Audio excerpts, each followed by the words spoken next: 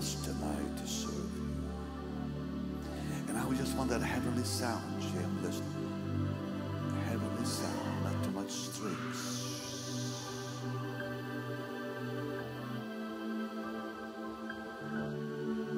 Come and quench this thirsting of my soul.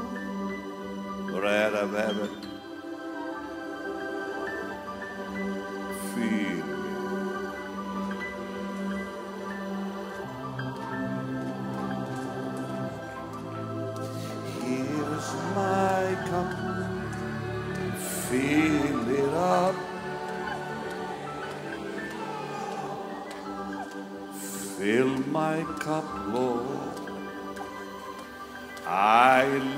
Lift it up, Lord.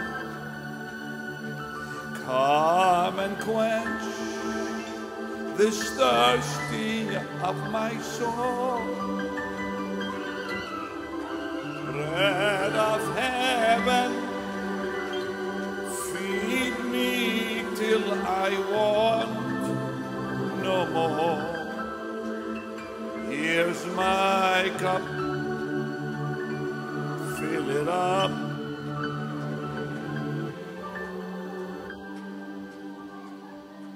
Like the woman well I was seeking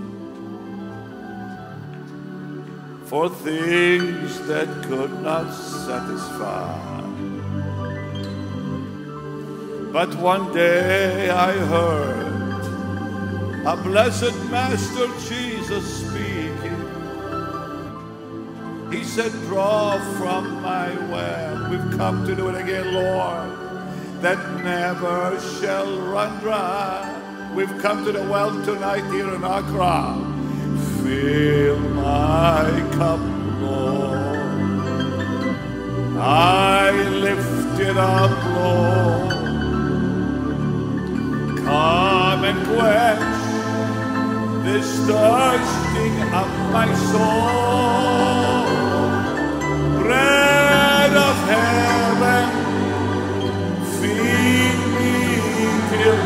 I want no more. Here's my cup, fill it up. Tonight, Lord, fill our hearts anew. Fill our cup again. Empower us one more time to live the Christian life as we should, as we must these last days. Magnify your name tonight as you bless your people with a fresh anointing from heaven, fresh infilling from above. In Jesus' name. Meet every need, answer every prayer, hear every cry, grant every need. In Jesus' name. We give you the praise. Amen. And God's people said, Can we give the Lord a mighty hand of praise?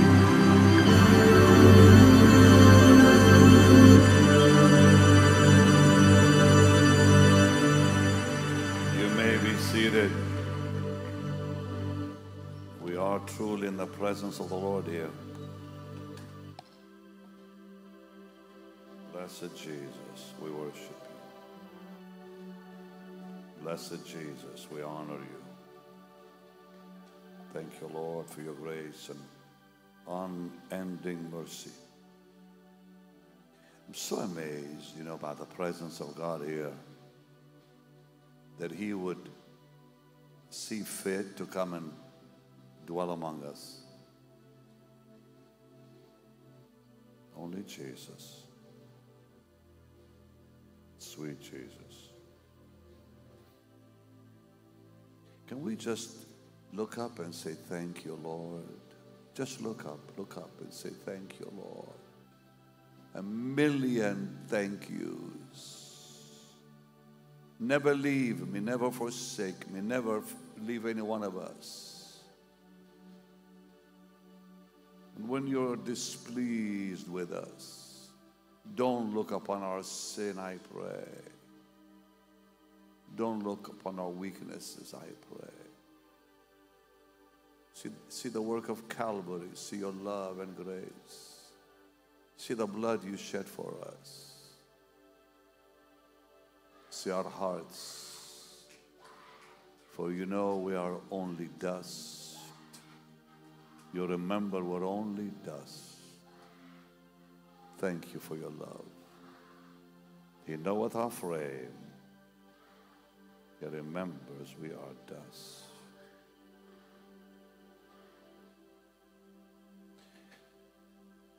Thank you, Lord. I want you tonight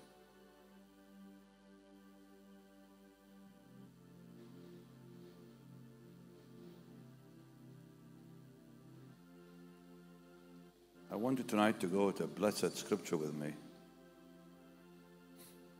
from Romans chapter 6.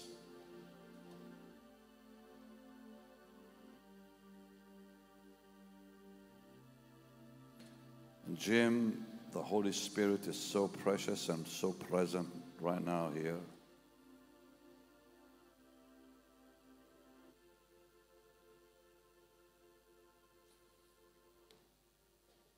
What a fitting song you're playing. How we need a fresh infilling. I'm going to read from Romans chapter 6. What shall we say then? Shall we continue in sin that grace may abound? God forbid. How shall we that are dead to sin live any longer therein? Know ye not that so many of, of us, as were baptized into Jesus Christ, were baptized into his death?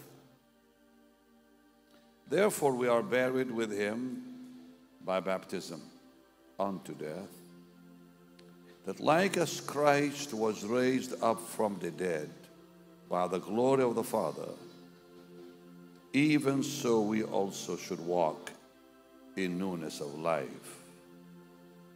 How true. For if we have been planted together in the likeness of his death, we shall be also in the likeness of his resurrection. These are powerful words. Knowing this, that our old man is crucified with him, that the body of sin might be destroyed, that henceforth we should not serve sin. For he that is dead is freed from sin. Now, if we be dead with Christ, we believe that we shall also live with him.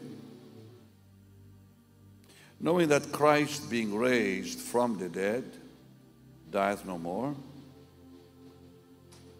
death hath no more dominion over him. For in that he died, he died unto sin once. But in that he liveth, he liveth unto God likewise, likewise. So we pay attention here now. Likewise, reckon ye also yourselves to be dead indeed unto sin, but, but alive unto God through Jesus Christ our Lord. Let not sin therefore reign in your mortal body Now, this verse is very powerful and clear. It says that we, as believers, have authority to say no to sin, that ye should obey it in the lust thereof. So we have the power to say, No, I will not let you reign in my body. Because I died with Jesus. Neither yield ye your members as instruments of unrighteousness unto sin, but yield yourselves unto God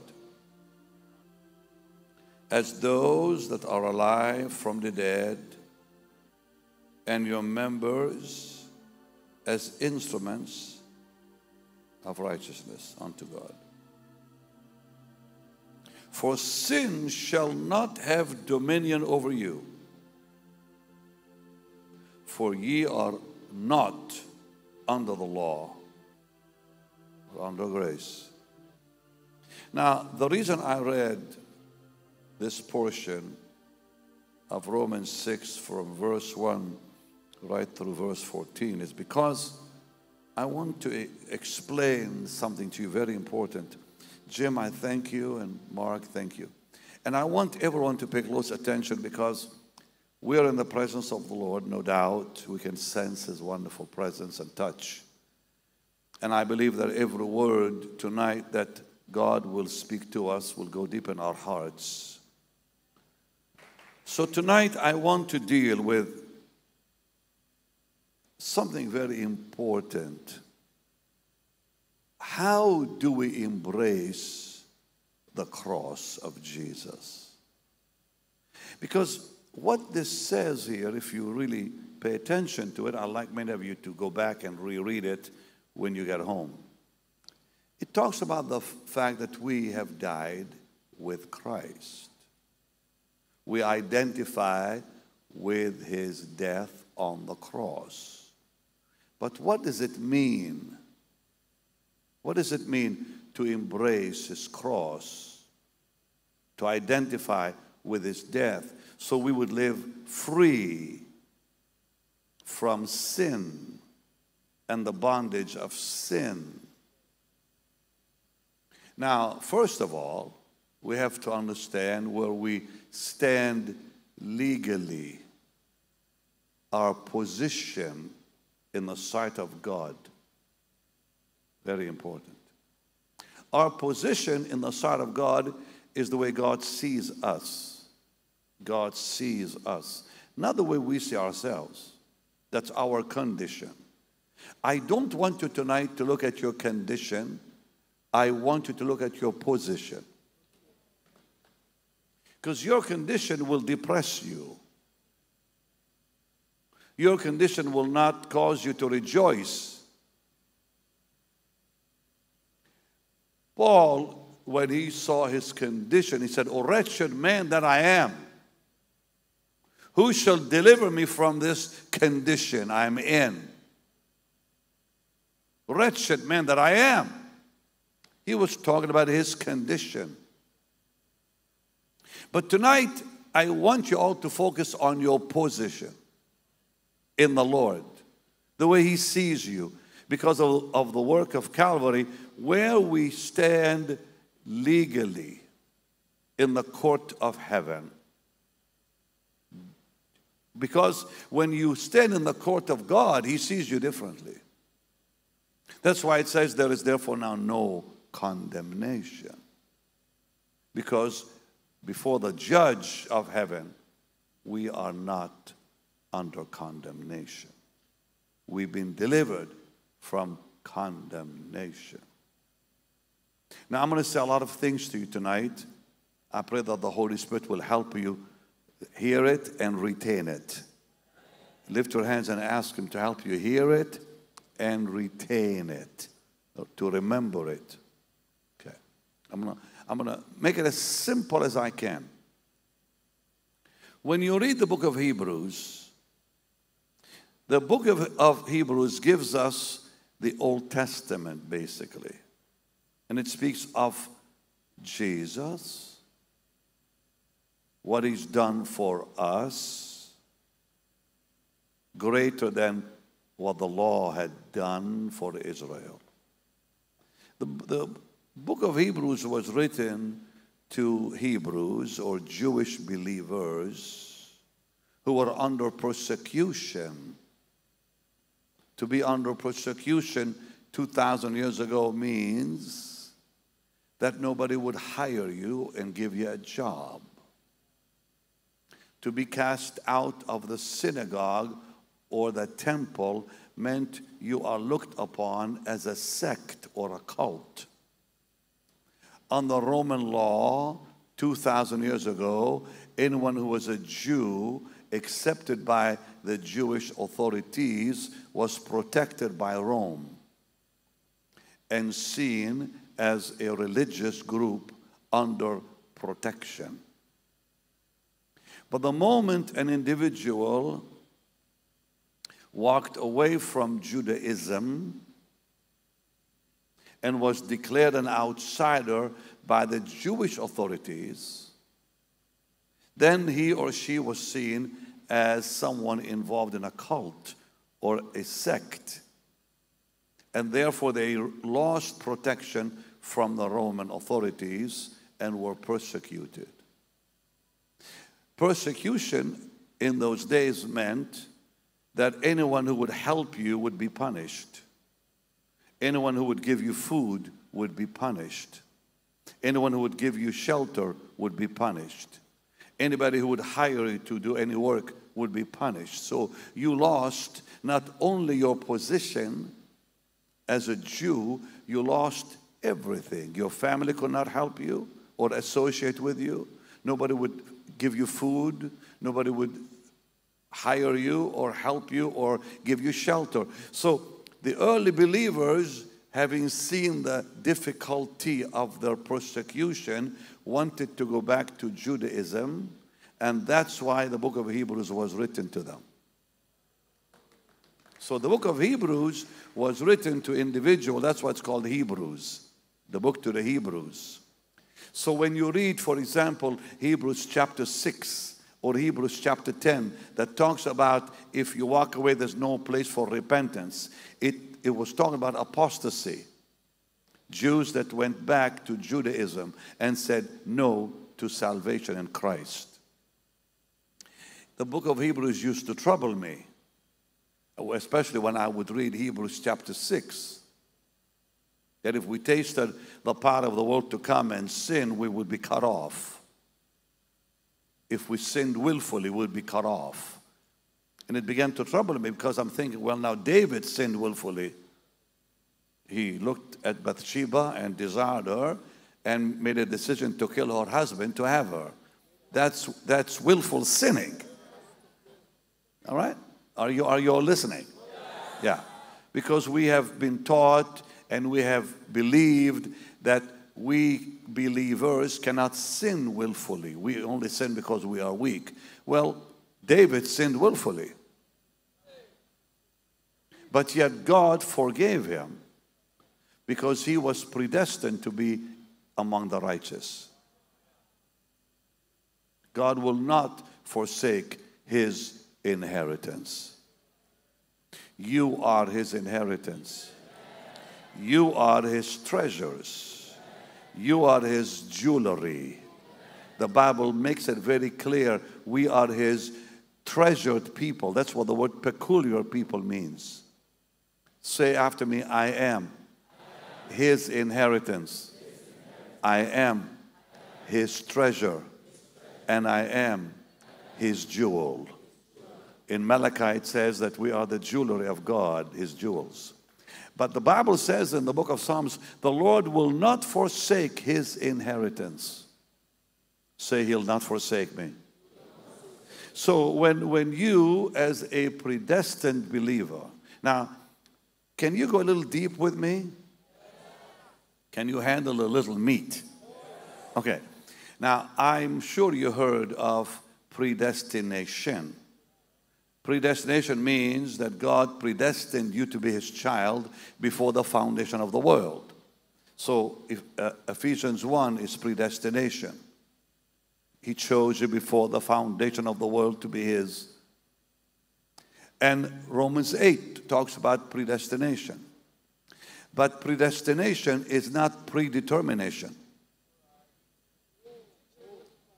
Can I say it again? Predestination means you have a choice to say yes or no. So the Lord chose you before the foundation of the world, but you have to follow Him. He will not force you to follow Him. Am I making, am I getting through to you? Because some people believe in America and here too that once saved, always saved. That's not in the Bible. What the Bible teaches is that we have to follow the Lord. Now, the difference between the devil and the Lord is quite simple Satan will push you, Jesus will lead you.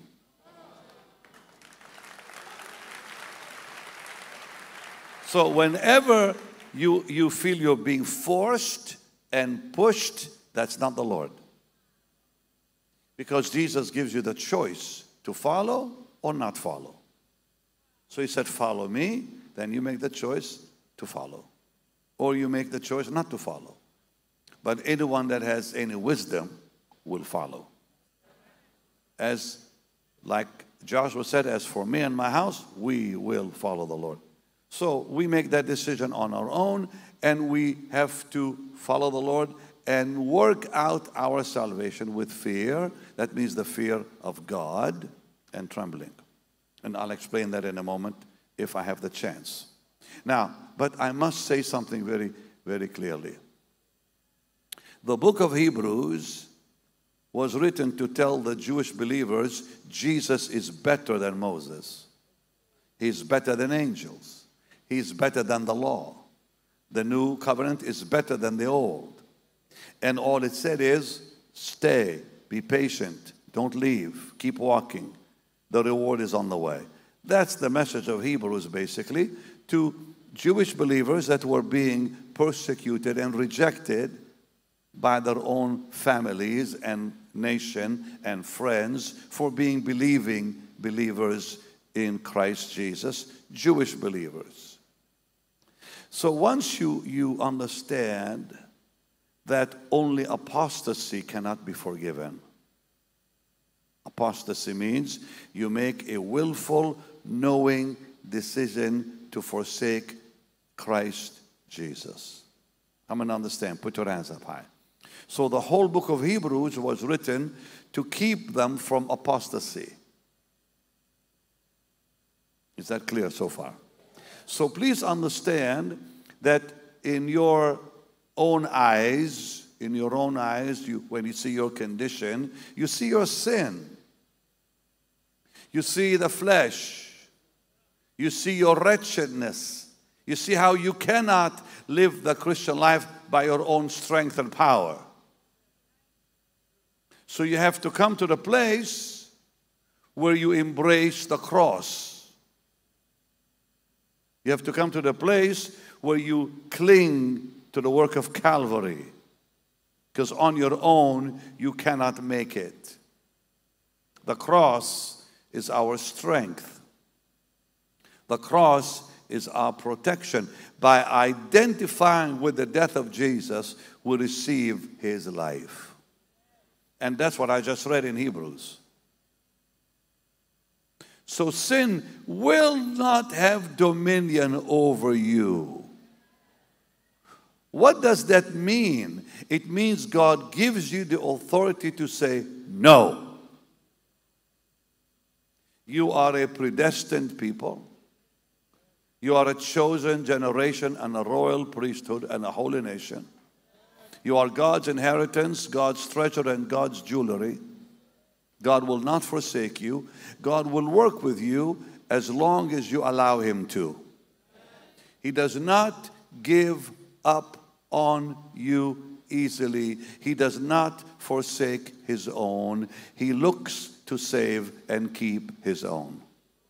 He's the one who goes after the lost sheep. And all he looks from you is your willingness to follow, your willingness to say yes. So, the Christian life, you've got to hear this part now. The Christian life is not about trying, it's about yielding. Can I say it again? The Bible doesn't say try to live the Christian life or try harder. It says yield your members as instruments of righteousness. Do not, I just read it. Don't yield to sin, yield to righteousness. So my job is simple yield. What does that mean? It means I cannot live the Christian life, but Jesus can. So let him live his life through me. And all I need to do is let him.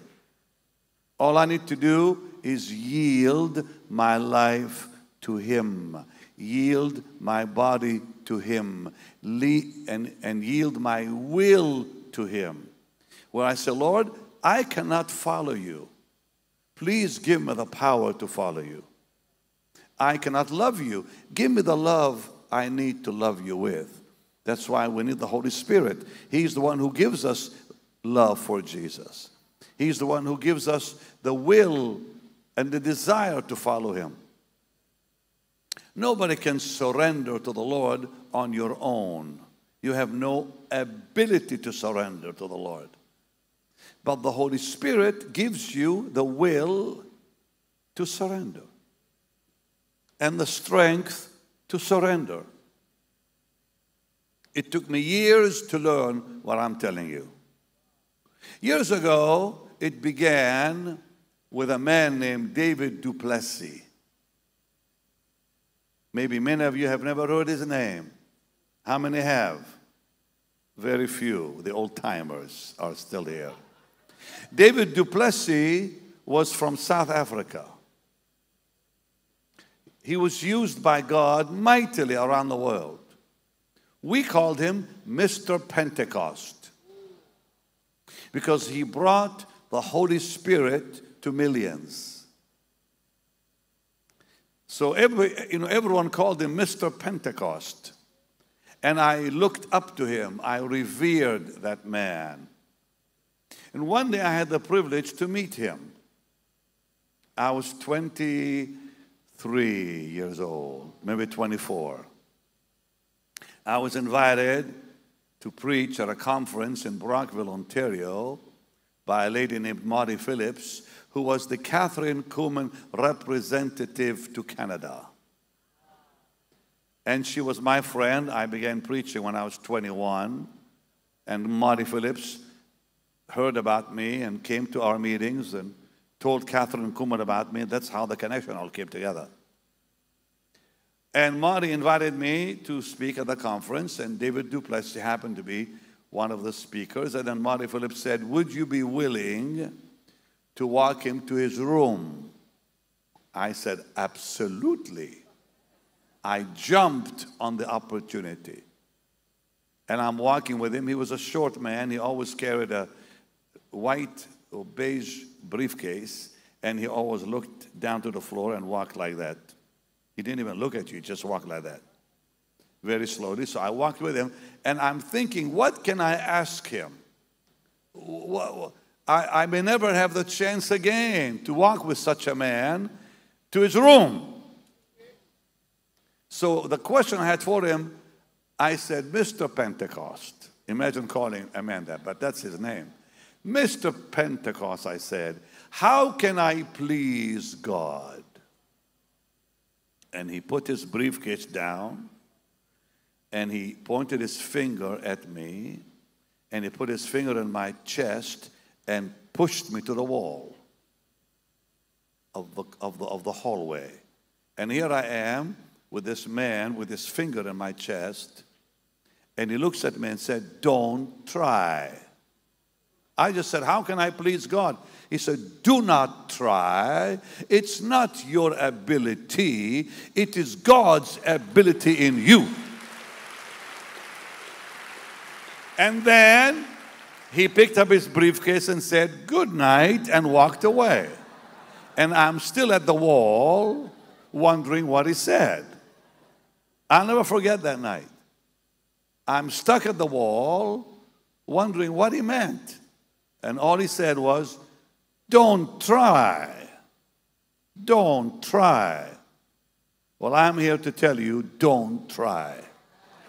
You will not win or succeed by trying to live the Christian life. He said, Don't try. It is not your ability. Now say with me, I will not try. It's not my ability. And then he said, It is God's ability in you. Say, It is God's ability in me. Now, this is what I'm talking to you about tonight. Yield to the Lord. So, think about that was when I was 23 years old. I'm 71 now. Well, thank you very much. But it took years before I could grasp what David du Plessis said. He, he, he went to heaven years ago, years ago. I never got the chance to go back and ask him, explain that to me. Because he was an old man by the time when I met him. But God showed me what he meant over the years. That the Christian life is not about try or try harder. Yield. Surrender to the Lord. Let him live his life in and through you. It's so simple. E- even a child can yield. A baby can yield. So simple. You sat on a chair tonight. You yielded to the chair to hold you up. Nobody here turned the chair upside down to, to make sure that the, that the legs are, are, are, are, are tight, that, that they're solid, they will not fall, and you will fall with the chair. That's called faith. You sat on the chair, you didn't bother to make sure that the chair can hold you up. You just sat down, believing that chair is strong enough to carry you. Why don't you have faith like that in God? If you have as much faith in God as you have in the chair, you'll, you'll, you'll shake the world. You yielded to the chair tonight. You surrender to the chair we surrender to the Lord. We simply let Him live the life in and through us. I know that is difficult for some people to comprehend because you must become a child to surrender. You have to be a child in the spirit to surrender. And that's why Jesus said, Only children will enter heaven. Why? They must be simple. We have forgotten the simplicity of the Christian life. It's so simple to believe. It's so simple to trust God. When people go swimming, if they relax, they float. If they struggle, they drown. So it's not time for you to drown. Stop struggling and start floating. Just yield to the Lord. Relax, relax. Trust Him to do it. Look, you did not find Him, He found you. And since He found you, He's going to keep you. You did not save yourself, nor can you keep yourself saved. Trust Him to do the job from beginning to the end. He that hath begun a good work in you will finish it. Just trust Him to do it. Now you're going to say, Well, I'm a sinner. God knows that. God loves sinners. You say, Well, I have, I have weaknesses. That's all right, because Adam gave that weakness to you. It didn't keep God from loving you and saving you. You say, Well, I have problems. I have all kinds of things in my life. God knows all that, and He loves you still. So, God is going to do the job, and all you have to do is yield. Say what now? Yield. Now, I'll give you something else to think about. Jesus said, I'm the vine, you're the branches. Abide in me, and I abide in you, and you'll bear fruit. Now, if you look at, at a vine without the branches, it disappears. If you ever see a vine with grapes, if you take the branches, you have nothing left hardly. So Jesus said, I'm the vine, you're the branches. Without the branches, you can't see the vine. So, what is my job? Get connected with Him, stay connected to Him. In other words, hang in there. Don't walk away. Just stay in Jesus. So simple. Stay a member of the family. So simple, so simple. So, how do you stay in Christ? Well, keep His word in, in your heart. Because if you keep it, it will keep you. When the word of God is in you, it will keep you in Christ Jesus. There's power in Scripture to keep you in Christ. You need to keep the Bible in your heart. Lord, it says, David said, I have hid your word in my heart that I'll not sin against you. So if the Bible is in your heart, all is well. And then you ask the Holy Spirit to make that word alive, to make that word live. And He will reveal Jesus through His blessed word. And then you talk to the Lord. Any relationship will, will die if you don't talk to, some, to somebody. If you're married, many of you probably are, if you don't talk to your, to your wife, your whole relationship will die. Or you don't talk to your husband, that, that whole relationship will collapse. Communication keeps the relationship alive. So talk to God. Talk to Him every day. When you get up in the morning, say good morning to Him. When you go back, when you go to sleep, say good night. When you're hungry, talk to him. When you're thirsty, talk to him. When you're in trouble, talk to him. When you're in the highway, talk. When you're in the car, talk to him. Sing to him. In the shower, bless his holy name when you're taking a walk. Just talk to him. God is not religious, he's God. People are religious. But God is not religious, he's God. He is so wonderful and beautiful and real, right down to earth. Jesus rose from the dead. He rose from the dead. And he shows up in the upper room. And the first thing he says to his apostles, I'm hungry. That's real. That's the living, blessed, real, down to earth Christ Jesus. God Almighty, just being raised from the dead. You think he would come with some spiritual whatever? He said, I'm hungry. You've got food around here. That's my Jesus. That's your Jesus. Hallelujah. Lift your hands say, I love you, Lord. That's Him. That's His love. That's His reality. That's its simplicity. Precious Lord, precious Savior. He walks with you and talks with you and tells you you are His own. Hallelujah. And all you have to do is keep talking and walking with Him. Keep His word in your heart and don't forsake the fellowship of the saints. How simple is that? Very simple. Very simple. Now, since I've said all this to you, and I hope you listen to what I had to say, just stay connected, abide in the Lord. All is well if you abide. But if you walk away, you're in trouble. Outside Jesus is sin. Outside Jesus, devils. Outside Jesus, darkness and confusion. In Jesus, there is light glory, beauty, and blessings all the time, every day, all the way, throughout eternity. And when this world will fall, will fall apart, you will not fall apart. Because no power can defeat you. Greater is he that is in you than he that is in the world. No, no power can defeat you. You cannot be defeated. You are more than conquerors. But for you to live the Christian life, the flesh has to die. The flesh has to die. So, what did the Lord say? He said, Okay, if you want to make it, deny yourself, carry the cross, and follow me. But what does it all mean? All right, we're going to get into it now. Are you ready? I said, Are you ready? Lift your hands say, Lord, I'm ready. I'm going to I'm going to talk to you about what does it mean to deny self. What does it mean to embrace the cross of Jesus? That's what I'm talking about.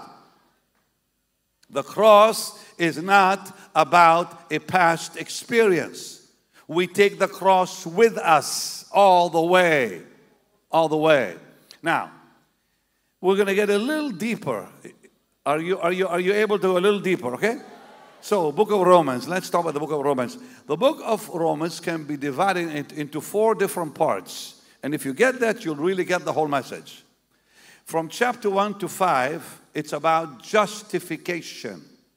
I'll explain that. F- chapter 6 and 7, sanctification. Chapter 8, glorification. And then 9, 10, 11, and, and 12, uh, sorry, 9, 10, and 11 talks about Israel, God's plan for Israel. But your part is really four parts. There's really five parts in the book, but you take 9, 10, and, and 11 out because it doesn't deal with you, it deals with the Jewish people. But the fourth part is from 12 to 16 is your duty as a believer. So let's go through it again. From 1 to 5, justification. 6 and 7, sanctification. 8, glorification. But then from 12 to 16, my duty as a believer. But if you want to put all five together, the five parts, well, include Israel in it then, which probably will help you anyway. So one to five is justification, and six and seven, sanctification, and eight is glorification, nine, ten, eleven, God's plan for the Jewish people, and then 12 to right through 16, my duty. How do I live as a Christian on this on this planet, in this world? But let's let's deal with the first three parts that I think are very important from Romans 1 to 5, I'm justified. But what does it mean to be justified? So, what is justification? And what is sanctification?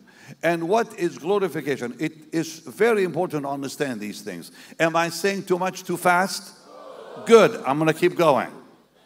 Thank you. To be justified means that my sins before I was saved before I was saved, I was guilty. Before salvation, all of us were under condemnation and wrath. We stood guilty in the presence of God. And then, then we came to the place to say, Lord, I give you my life. At that moment, He forgave you your sin and forgave you your guilt. I'm going to come down right now. I need to really look in your eyes. And I need to say a few things to you and ask you a question or two. Okay? So, when I talk and when the Bible talks about justification, you, know, you can see me on the screen, so, so you don't have to see me. All right. So, when the Bible talks about justification, it talks about my guilt in the past is forgiven. That's mean that, that that's what is meant by justified. Now, many preachers have taught that justified means past, present, and future. The Bible does not teach that. No. Justification deals with the, with the past only. My penalty, the penalty of sin is gone. I'm born again. God declares me righteous. That's what justification means. But then I have to work out that life. So God declares me righteous. Now I have to work into that righteousness by following the Lord, by cooperating with the Lord, by receiving His word by talking to Him, by listening to Him. And from day to day, I am changed and transformed into His image. That's called sanctification. And that releases me from the power of sin. All right? So when, when you got saved, you were free from the penalty of sin. God forgave your guilt. The penalty of sin was removed. Now you live the Christian life. You obey the Lord. You follow the Lord. You read His Word. You pray daily. You talk to Him. You're working it all out. And as you are living the Christian life, you're working into that righteousness God declared you in. And that takes all your life. So God declares you righteous in a second. You're justified in a second, but you have to work it now. And it takes life, a whole life of yours, before you come to that place where you will not have sin controlling you. So I'm free from the penalty when I get saved. But as I live the Christian life, the day will come I will be free from the power of sin. So the longer I live, the less sin controls me. The longer I obey, the stronger I get. Are you listening? Yeah. And then slowly I become stronger and stronger and stronger and stronger, and sin becomes weaker and weaker and weaker and weaker. But I'm not free yet. I'm not free yet from the presence of sin until Jesus comes. And when Jesus comes, he will liberate you from the presence of sin. So there's three things when it comes to sin. There's the penalty of sin, gone behind us, forgiven. There's the power of sin. The power of sin, as I live the Christian life, I overcome it by the Spirit. And then there is the presence of sin, that I will be free forever when Jesus returns. And that's what the book of Hebrews talks about. But here's, here's how we begin. Here's how we begin. I'm going to ask you a question. Okay. But I want to remind you what it says about Abraham. It says Abraham believed in God. He believed in God. And God declared him righteous. Now, many Christians today don't understand what in God means. So, what they believe is, well, they say, I believe that, that, that Jesus came, that Jesus died for me that Jesus shed his blood, that Jesus rose from the dead, that Jesus is coming again. Well, that doesn't help you. Because that, that, that has nothing to do with anything that God will do in you. So the devil says, or unbelievers even say, Well, I believe that Jesus came, so does the devil. I believe that Jesus died on the cross, so does the devil. I believe that Jesus shed his blood, so does the devil. I believe that Jesus rose from the dead, so does the devil. I believe that Jesus will come again, so does the devil. But he does not trust the Lord. To believe in Jesus in Jesus is the key. So, so let me ask you a question of you. Do you believe I exist? Yes. If you do, put your hands up high. Fine, fine, that's, that's good. Now, how many of you believe in me? Oh, only those who are nice believe in me. You, uh, oh, wait, wait, wait. You cannot believe in me.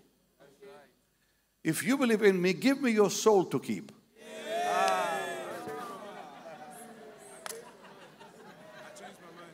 That's it. If you believe in me, give me your money to protect it. Did you did you get that? You changed your mind. One more time. I changed my mind. It's a, one wonderful. Because you cannot believe in a human being. Because to believe in a human being, give him all your money to protect it. Or give him your soul to keep it. Only God can be trusted with my soul. Are you getting it now? If you are, wave at me. All right, you cannot believe in a human being. You can believe that, that, that human being is a good man, and whatever that, that, that is. So the world believes that Jesus came and died and well, so what? But they don't they do not believe in him. To believe in him means, Lord, I give you my life. I give you my soul to keep it. I give you my money and everything. I give you all I am, and all I have is yours. So Abraham believed in God. Genesis 15. He believed in God, and God said, Since you trust me, you're righteous. He did not have to obey the law, there was no law to obey. He believed in the Lord.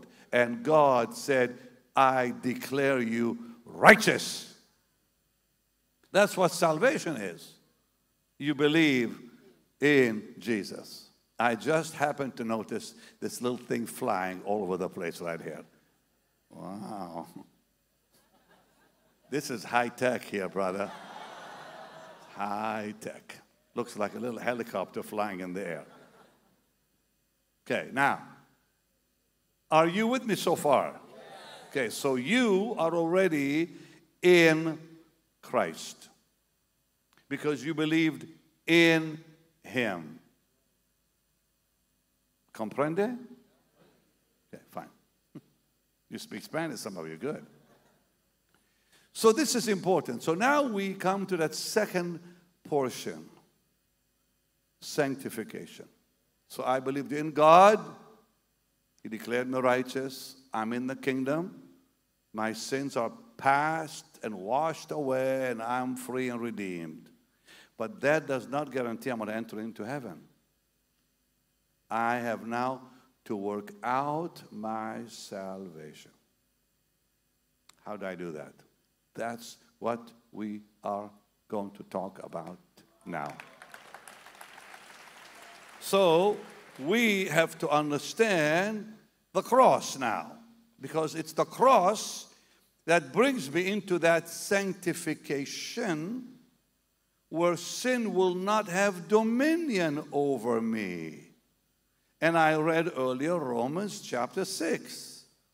So, in that portion that you can read for yourself later, but I'll just point some things out.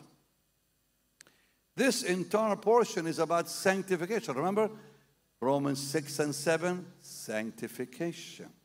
So in Romans 5, he begins with, therefore, being justified by faith, we have peace with God. Fine.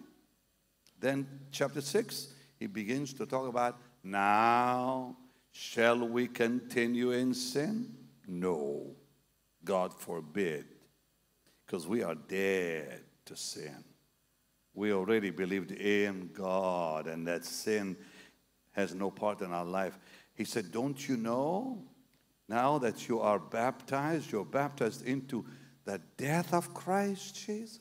Aha. So now sanctification begins with death. Death to self. Prior to that, I was alive but I didn't know I was really dead. I was alive to sin. I was yielding my members to sin. And one day I said, Jesus, I'm tired of my sin and I believe in you and I need you to save my soul and save my life. I give you my life and all that darkness and all that wretchedness and all that bondage. I give you all of me. And he saved my soul. And now he declares me righteous. And now he says to me that if I identify with his death, I will walk in newness of life. That's powerful. In verse 5, he says, If I am planted in, the likeness of his death, I'll be resurrected in the likeness of his resurrection. So he begins talking about crucifixion in this chapter. In verse 6, don't you know you're crucified with him? That you should not serve sin, and so on. Verse 8, don't you know you're dead with him? Don't you know that Jesus dieth no more, and death hath no dominion over him? He died unto sin once, he lives unto God. Likewise, reckon ye also yourselves to be dead indeed unto sin. All right. Now, Lord, how do I do that? Now, Jesus said something powerful. In Luke 14, 27, in Luke 14, 27, he made a powerful statement about death. About death. That we need to die to the world and the things of the world. He said in Luke 14 27, Whosoever doth not bear his cross and come after me cannot be my disciple. You can't even be a Christian without carrying the cross of Christ. And then he said, Which of you intending to build a tower sits not down first and counts the cost? So, salvation is more than a free pardon for the past. Salvation is more than pardon from my past sin. Because salvation deals with the temptations that come from within me, that stay with me.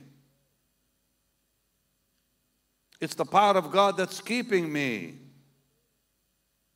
Say, I am kept.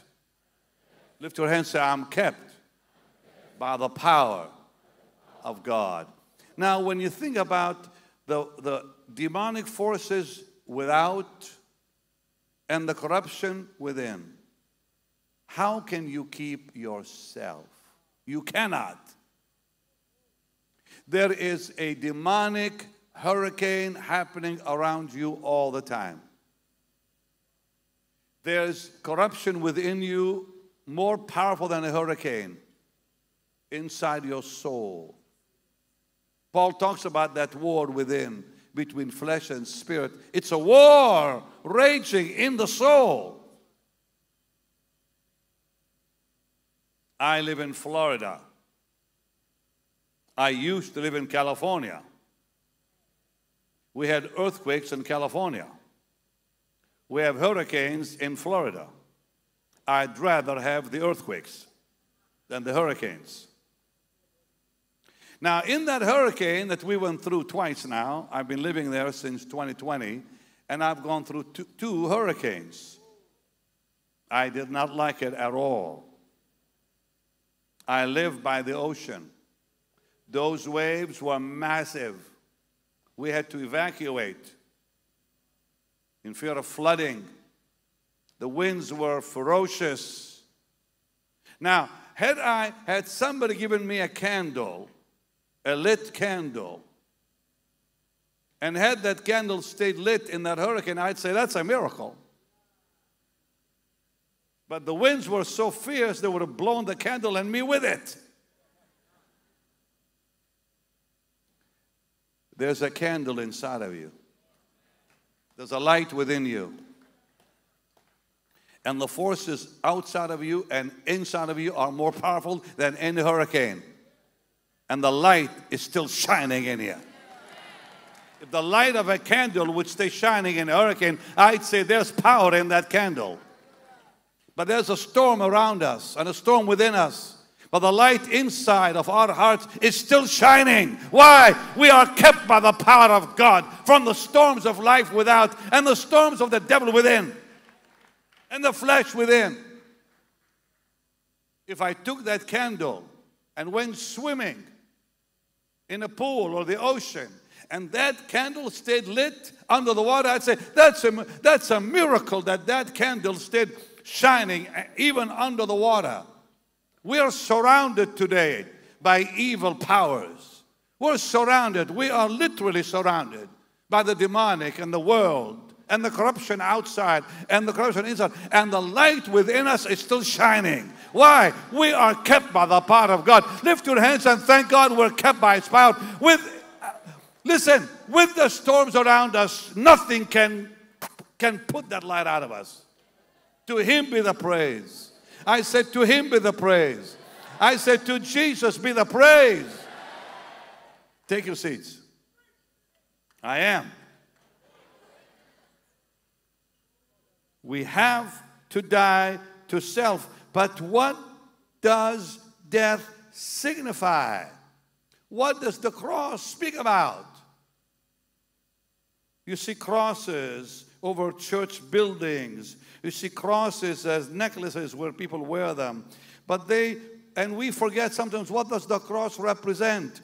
The cross has to do with the execution of a criminal. The cross is about death. Today we would compare the cross to an electric chair or a hangman's rope in some countries because it represents death. We have to die to the things of the flesh and the world. Jesus said, Deny yourself. What, what, but what does it mean to deny myself? There are priests, there are people that in the past would go and live in a cave. In my part of the world, not wanting to be a part of the world, they go choose some monastery or a cave in the desert. That's not going to help you. There's only one way to deny the flesh. One way and one way only. Lift your hands and pray in the Holy Ghost out loud. Come on, all of you. Hallelujah. Lord, open their eyes. Give them spiritual understanding in the things of the Spirit. Give them wisdom. In Jesus' holy name. The cross represents shame.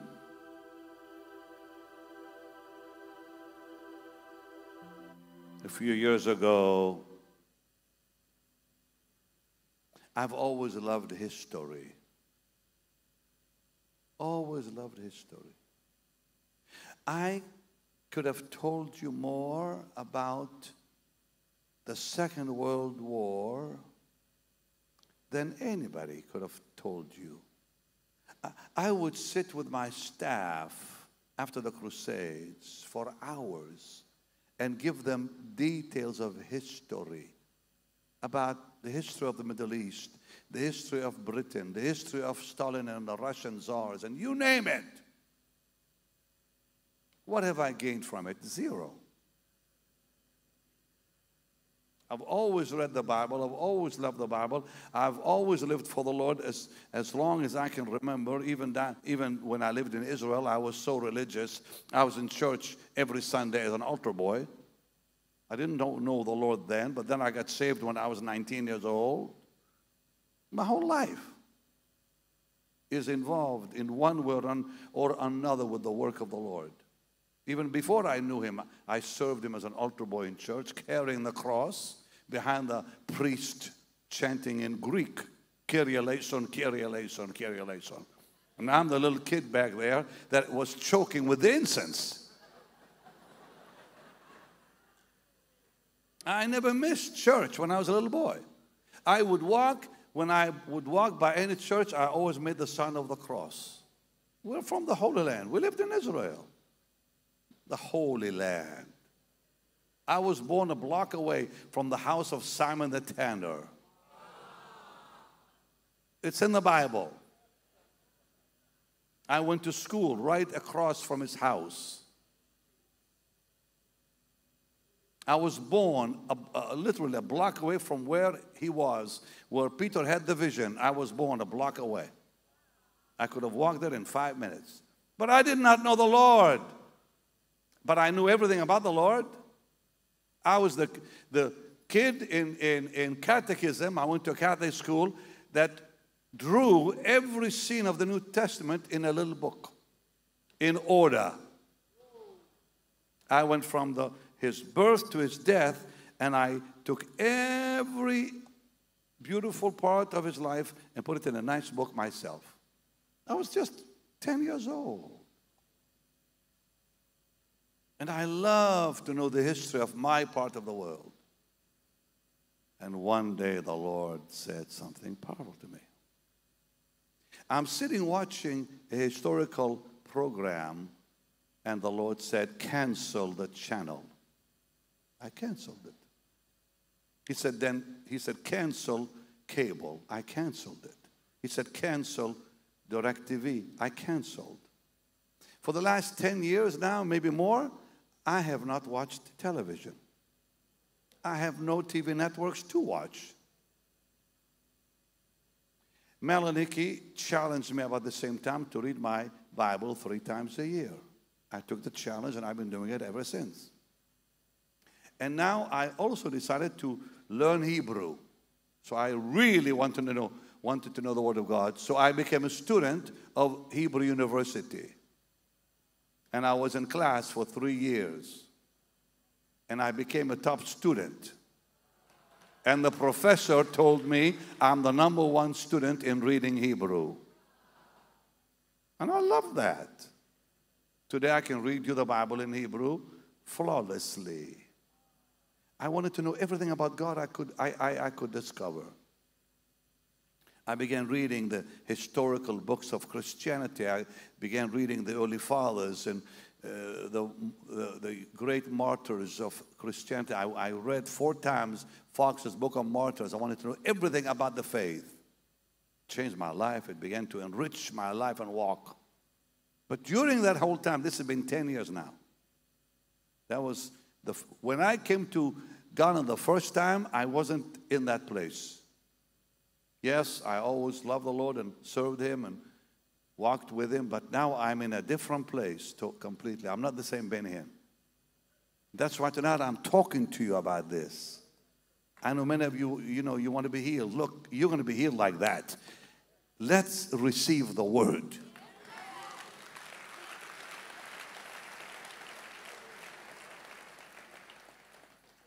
So I began to search within me, Lord, Please help me die to self. I remember Kathryn Kuhlman, she would talk about death all the time. When I would go to her early days, in, the, in my early, early days, when I was in my late teens, I was 19 years old and 20 years old when I would go and see Miss Kuhlman. And the first time I heard her, and I did not know what she meant. She said, and she was very dramatic, You have to die. You have to die. I had no clue what she meant. She said, Kathryn Kuhlman dies a thousand deaths before I walk on that platform. I had no clue what she meant. Kathryn Kuhlman died a long time ago. I had no clue what she meant. She talked about dying, dying. So I went home, I got on my knees. I said, Dear Jesus, kill me. I didn't know what she meant. I said, Dear Jesus, just kill me. I have no clue what she's talking about. I, I don't know how to die, so please kill me. But now I know what it means and I can put the puzzle together from du Plessis and after du Plessis and before du Plessis and since then and Kathryn and Corrie Boom who talked about dying for the Lord. Jesus said, if any man will come after me, let him deny himself, hate himself. If you don't hate your father, your mother, your brother, your sister, your children. You cannot be mine. If you don't hate your own life too, you cannot be my disciple. It's impossible. I'm glad they got it for you. If any man come after me that hate not his father, mother, wife, children, brothers, sisters, and his own life. I did not understand that when I was saved. He is not telling you to dishonor your parents. The same God who said, honor your father and mother. But we have examples of what he meant when his mother Mary came to Galilee with his brothers and they said, Your mother is out there. He said, Who is my mother? Who is my mother? And my brothers. They who hear the word and do it. But on the cross, when he saw his mother, he said to John, Take care of her. Balance. Balance. She could not interfere in the call of God on his life. She could not pull him away from where he ought to be and, and doing for the Lord. But he never stopped honoring his mother. His last request on the cross to John was take care of her. Dying to self is daily, it's a daily death. You cannot be a conqueror in Christ Jesus without dying to self and dying to the world and dying to the flesh continually. Continually. You know, people love preaching and talking about we're more than conquerors through him who loved us. I'm going to read for you some of the most beautiful scriptures in Romans 8 that you all know by heart. My favorite verse is Romans 8:32. He that spared not his own son, but delivered him up for us all, how shall he not with him also freely give us all things? Who shall lay anything to the charge of God's elect? It is God that justifies. Who is he that condemns? It's Christ that died, yea, rather that is risen again, who is even at the right hand of God and makes intercession for us. Who shall separate us from the love of Christ? Shall tribulation? Or distress or persecution or famine or nakedness or peril or sword. And then they jump to verse 37. In all these things we're more. Stop it! Don't miss verse 36. So they go from verse 35 Who shall separate us from the love of Christ? Shall tribulation or distress or persecution or famine or nakedness or peril or sword. And then they, they go, We are more than conquerors through But stop it! In verse 36 it says, As it is written, For thy sake we're killed all the day long. We're counted as sheep to slaughter. Then we are more than conquerors through him that loved us. Of course, Jesus will never leave you. Who shall separate us from the love of Christ? None can. None can. It is true, it is real. Who will separate us from the love of Christ? No tribulation, no distress, no persecution, no famine, no kid, no nakedness, no power, all sort. Why? Because we're dead. A dead man is not affected by persecution. A dead man is not affected by tribulation. A dead man is not affected by distress or famine. A dead man is not affected by nakedness, peril, or sword. He is more than conqueror because he's dead. And when you are dead, then you can say, then and only then you, can say, all these things are more than a conqueror through him who loved me. And then Paul declares this triumphant declaration I'm persuaded that neither death or life or angels or principalities or things present or things to come or height or death or any other creature shall be able to separate me. Who's me? The dead. From Christ Jesus, from the love of God in Christ Jesus. We have to die to self to become conquerors. We have to die to self so persecution will not affect us. Tribulation will not touch us. Peril or sword or hunger or nakedness will not affect our life. Because a dead man is not affected by these things that the world will come against us with. He's dead. And when you're dead, you're alive in Christ Jesus. Take your seats. So we embrace the cross we die and we embrace, what do we embrace? The shame of the cross. When Jesus said yes to the cross, he was mocked, he was spat upon, he was whipped. On the way to Calvary, they were spitting upon him, mocking him. When you embrace the cross, the world will persecute you, the world will mock you all that live godly will suffer persecution. But Jesus said, when, when they persecute you, rejoice, rejoice.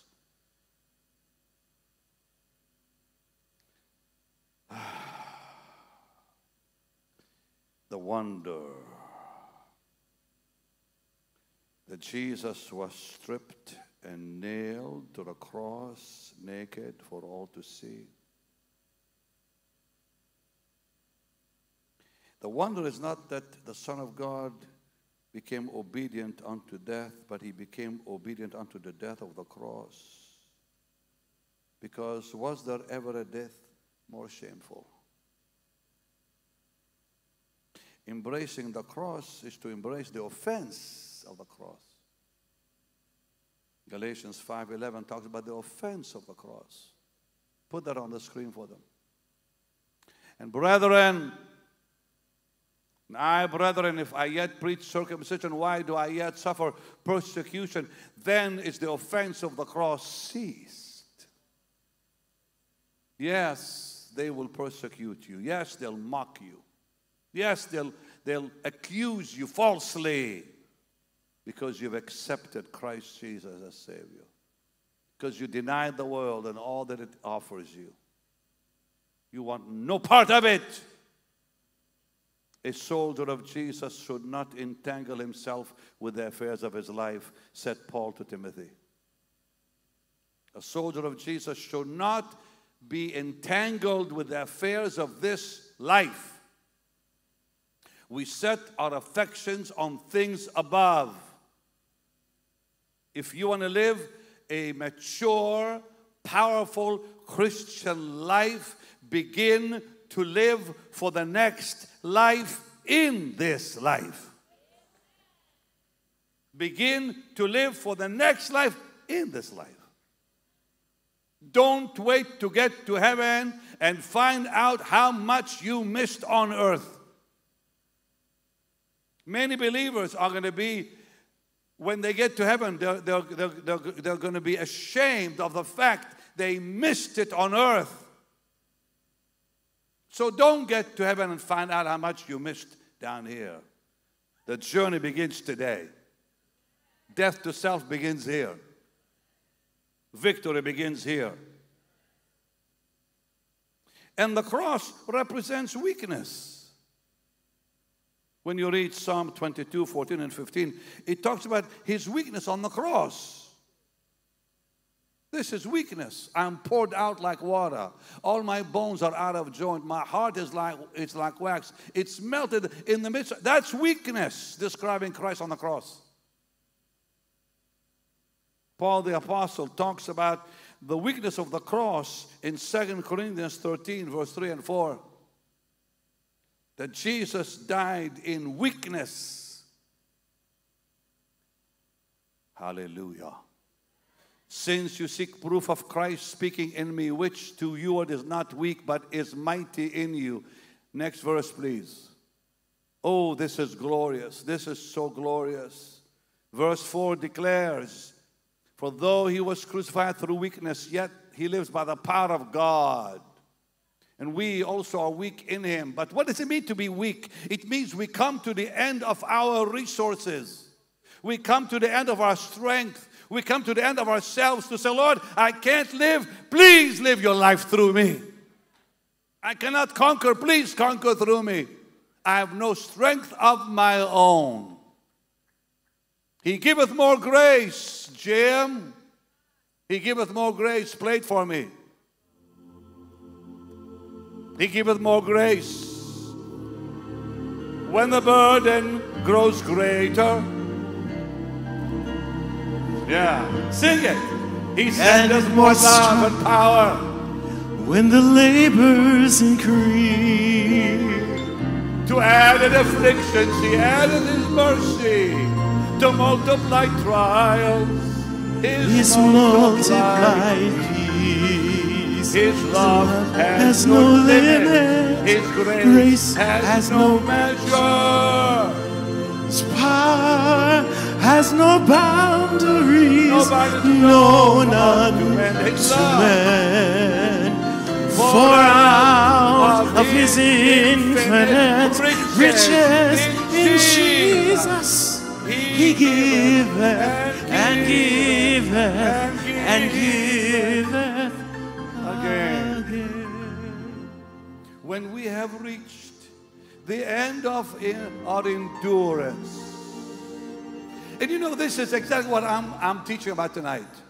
We come to that weakness of place of weakness and say, Lord, I cannot endure. I have no strength in my own. Let the Lord lead you. Keep playing though. I'm almost done. It brings you to the end of your resources to total dependence on the Lord. So not only does it represent shame and persecution, and we embrace and rejoice when they mock us, persecute us, coming to the end of our strength and so, and say, Lord, I'm so weak, I trust you to live your life through me. Give me your strength. When I'm weak, I'm strong. But it means death.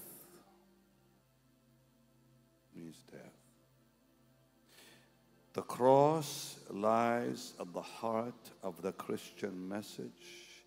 The gospel was never intended to give you a spring cleaning.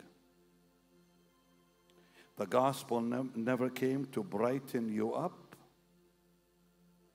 The gospel never was preached to make you a little more like God or acceptable to God. The gospel came to finish you, to bring you to the cross why? So you can be a new creature in Christ Jesus. And when you die, oh Jesus, I worship you. Lift your hands and thank Him, saints.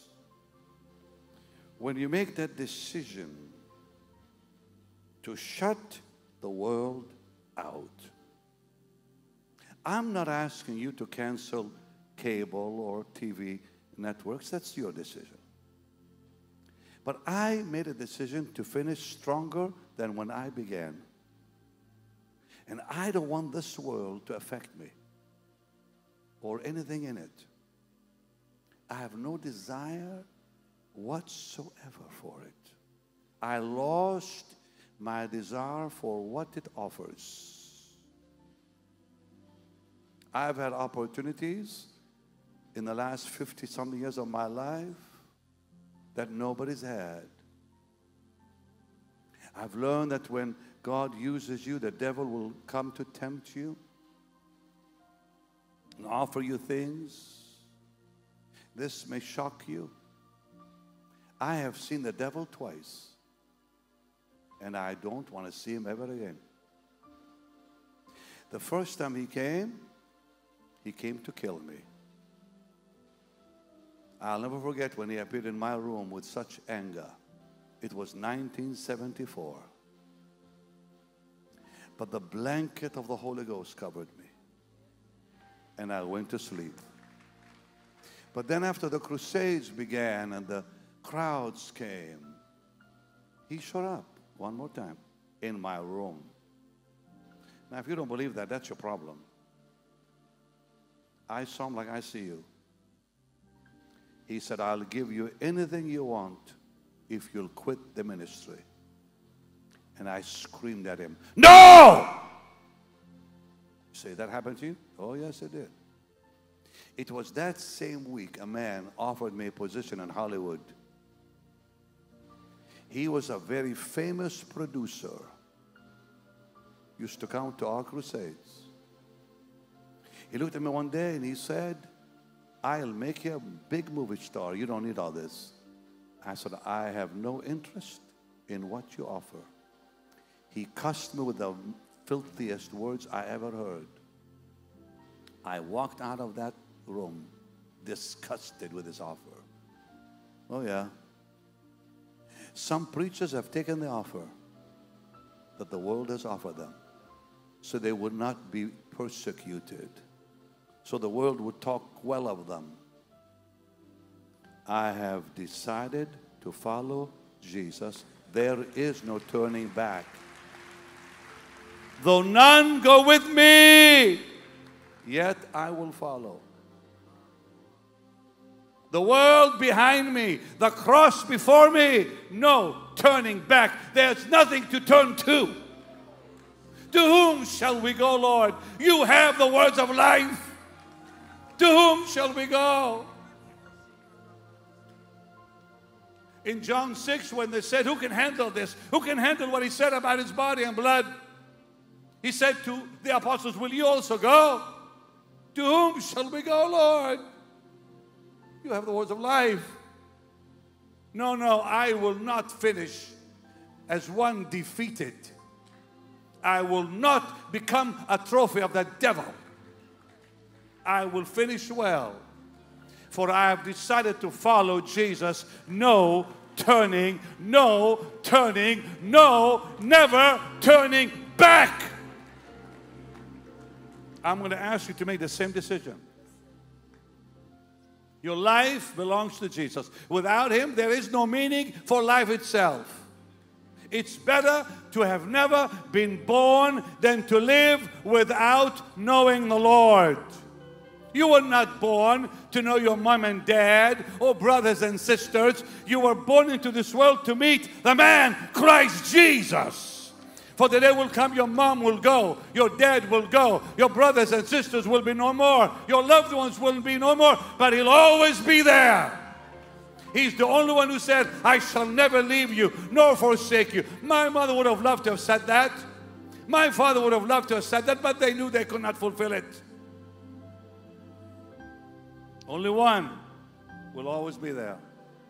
Only one loves you. Only one caresses your forehead when you're in trouble. Only one gives you comfort when you need it and strength when you need it. Only one will come when the others leave. He never leaves. Never leaves. Because He's Jesus. He'll never betray you. He'll never forsake you. He'll never forget you. You may forget Him. He will never, ever, ever forget His own. Give Him a chance. Give Him your time. Come back to Him. He wants you. He wants to trust you again. He wants to use you again. He doesn't trust many because not many are trustworthy. The eyes of the Lord go through and through throughout the whole earth to show himself strong for those who need and call on him. The time has come to surrender completely to the Son of God and say no to Satan and the world and everything that it offers. It's time to shut it out of your life, away from your life. It's time to get in the scriptures and get to know the blessing and the wealth of the honey in the Bible, the treasure in the Bible.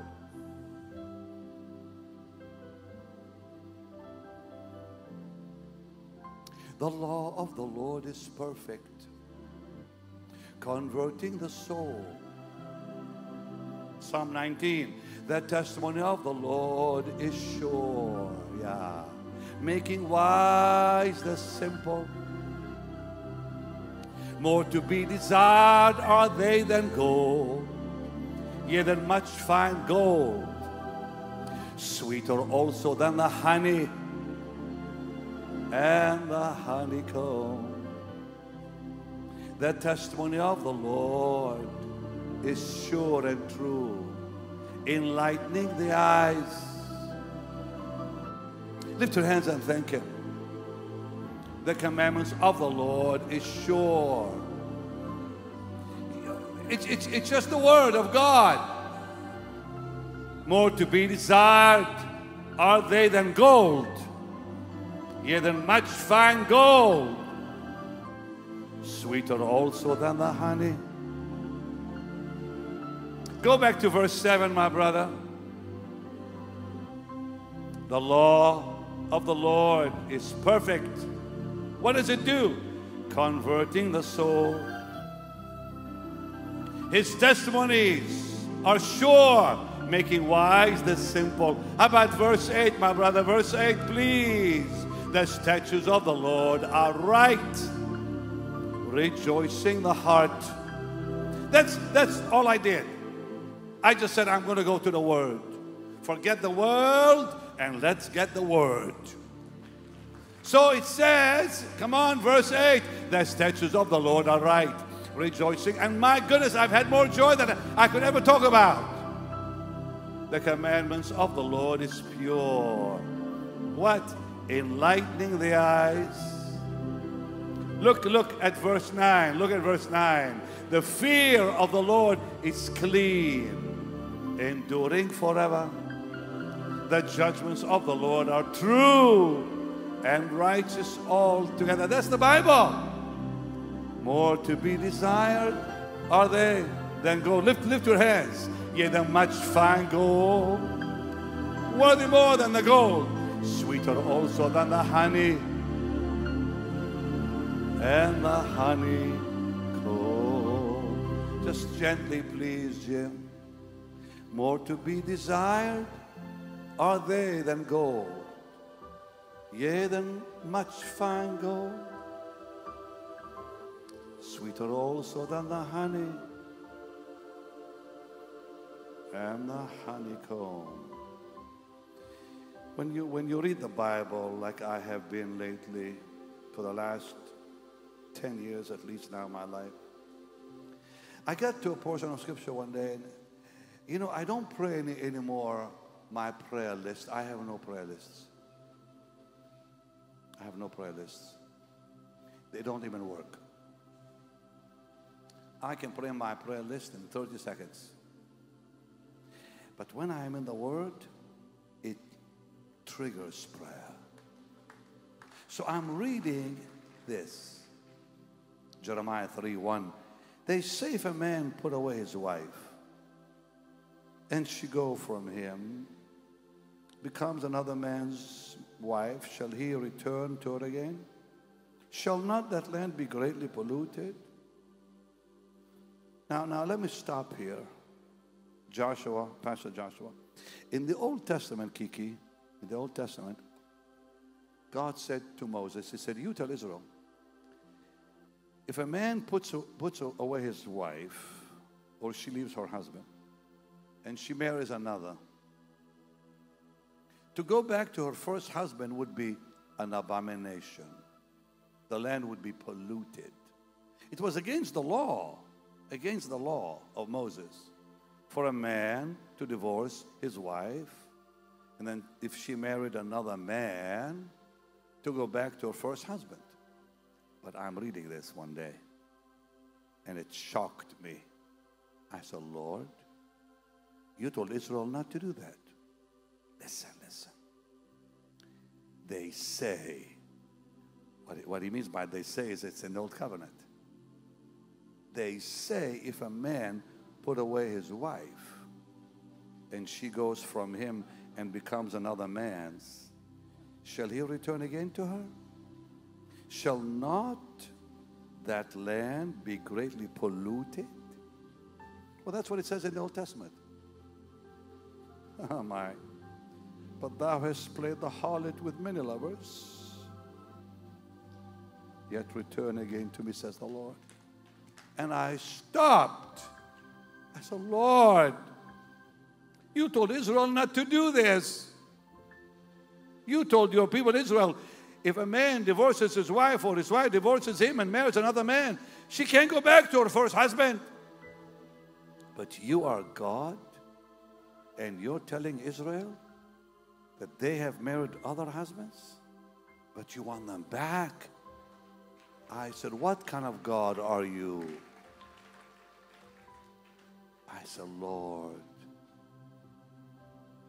you're amazing. What love is this? What mercy is this? That you want your people back, even if they're polluted? That's what it says. That's what it says. I have decided to follow Jesus. You know why, huh? Because I've seen his love. I have decided to follow Jesus. Will you decide with me? I have decided to follow Jesus. No turning back. Say it. The cross before me, the world behind me. The cross before me, sing it. The world behind me. The cross before me, the world behind me. No turning back, no turning back. Though none go with me, yet I will follow. Though none go with me, still I will follow. Though none go with me, I will always follow. Lift both hands. No turning back. Tell it.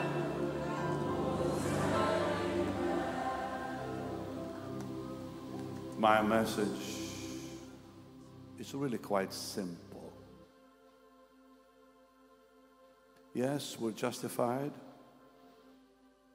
and we're free from the penalty of sin, but we must conquer to be free from the power of sin. We cannot disappoint Him anymore. We cannot grieve the Holy Spirit any longer. We cannot be holy on our own strength. Only He can live within you that holy life. Total surrender to the Lord. Embracing the cross and its persecution, mockery and shame coming to the end of yourself to say, Lord, I'm too weak to even know how to follow. Give me the strength and the will to walk with you. Help me die to the things of life and the world, that you will be all my all in life and all. And I won't just sing, I won't just sing it, I'll mean it, I'll live it. I surrender all. I'll mean it. I mean it. You have no idea the peace I have found. Oh, the peace I have found in my soul. It doesn't mean the trials of life cease, they actually get worse. But peace. I like my hiding place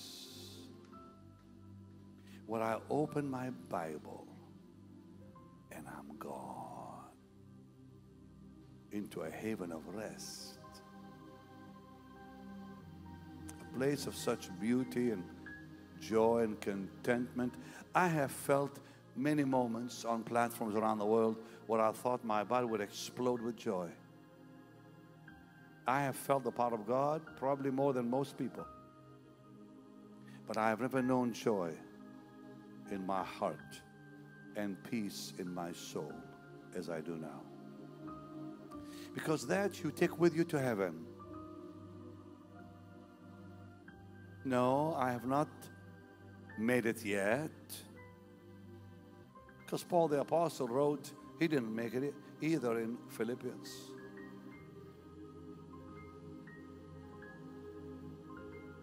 He said, I count all but loss for the excellence of the knowledge of Christ Jesus.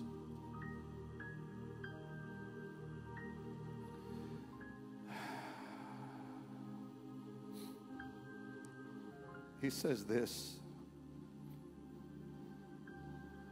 He says, I can boast.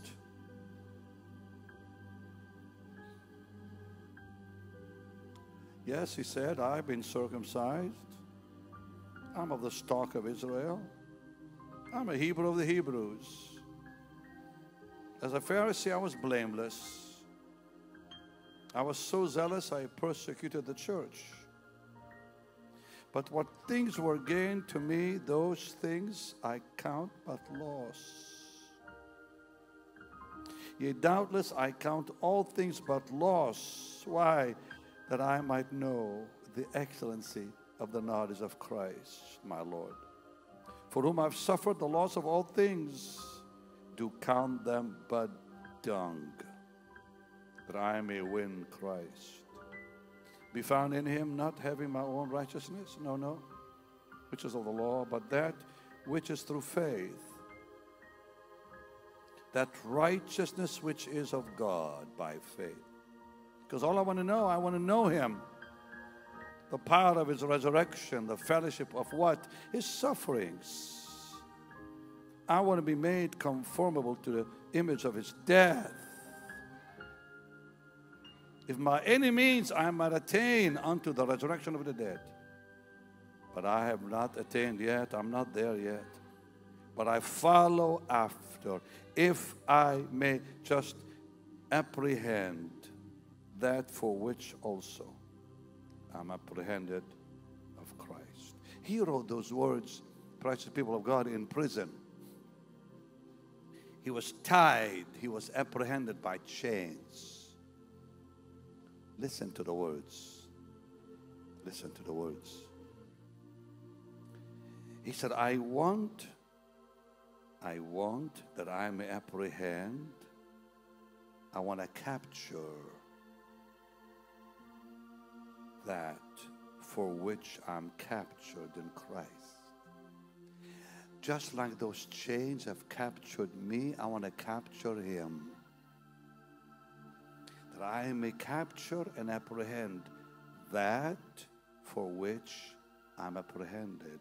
Brethren, I count not myself to have apprehended, but this one thing I will do, and I say the same, forgetting this, those things which are behind me, reaching forth to those things which are before me. I'm going to press toward the mark. I want a prize he is my prize. The high calling of God in Christ Jesus.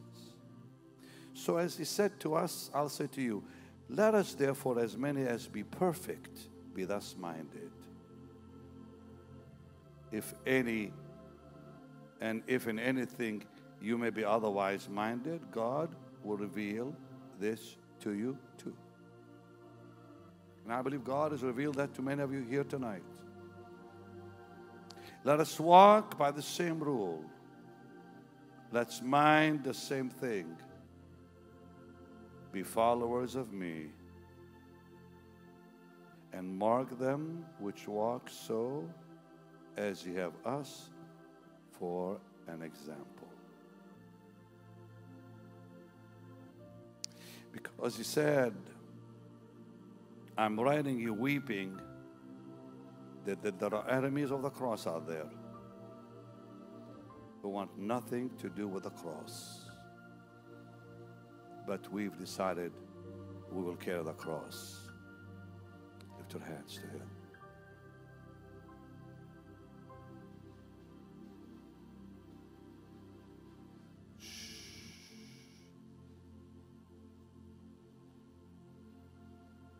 When I survey the wondrous cross on which the Prince of Glory died.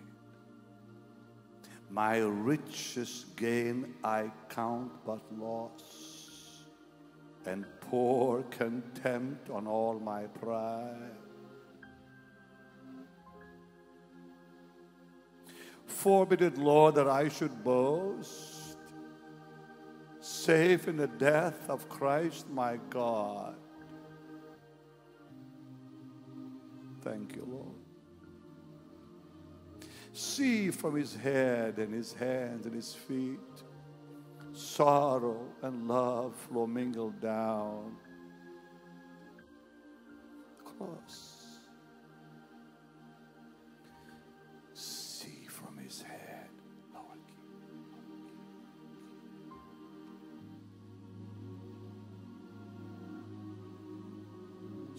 From his head his hands and feet. Sorrow and love flow, mingle down. Did ever love and sorrow meet? Or have you ever seen composed so rich a crowd. And so we say today to you, Lord, when I survey the wondrous cross on which the Prince of Glory died. My richest gain I count but loss and pour contempt on all my pride. My Jesus, I love thee. I know thou art mine. For thee all the follies of sin I resign. My gracious Redeemer, my Savior, art thou, art thou.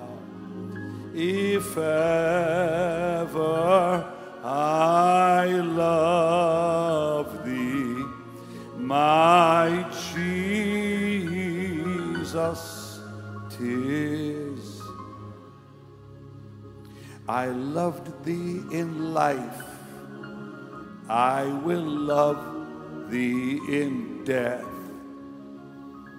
and praise thee as long as thou lendest me breath, and say, when the death dew lies cold on my brow, my brow, if ever I love thee, my Jesus, tis hands to him. I love you. I love you. I love you, Lord, today because sing for me. Come on, Jim. In such a blessed way. And yes, I praise you. I lift you up. I magnify your name. That's why my heart is filled with praise.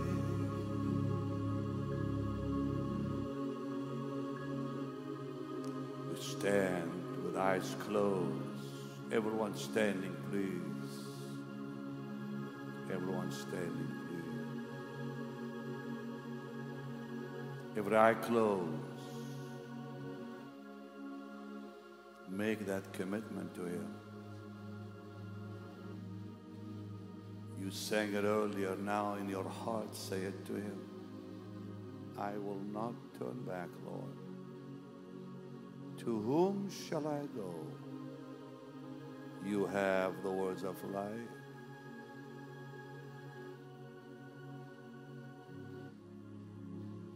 You are my everything. You are my all. Just gently, Jim, please. Just heavenly sounds now. You are my everything. Yeah. Both great and small. You gave your life for me, made everything new. You are my everything.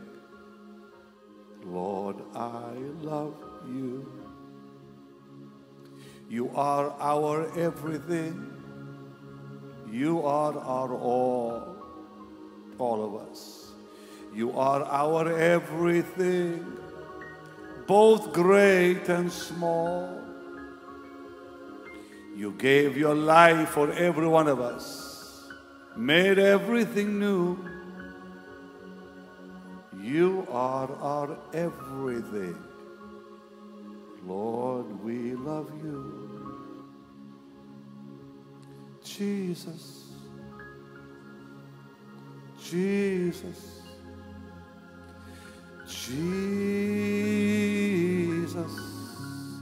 There is something about your name. Tell him, saints, you're my master, Savior, Jesus.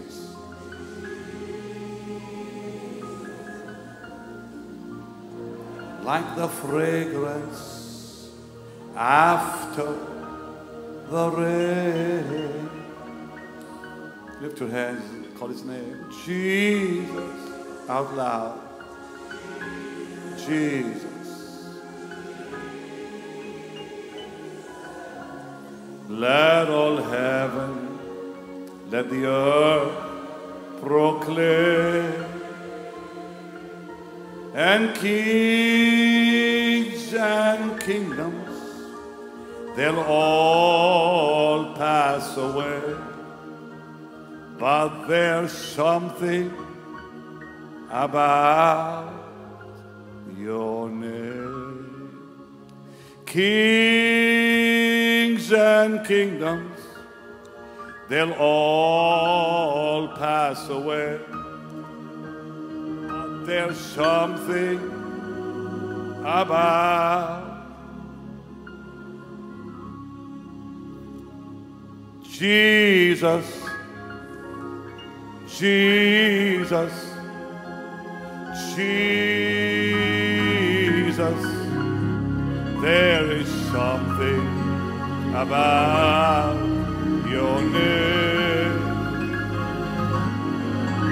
Master, Savior.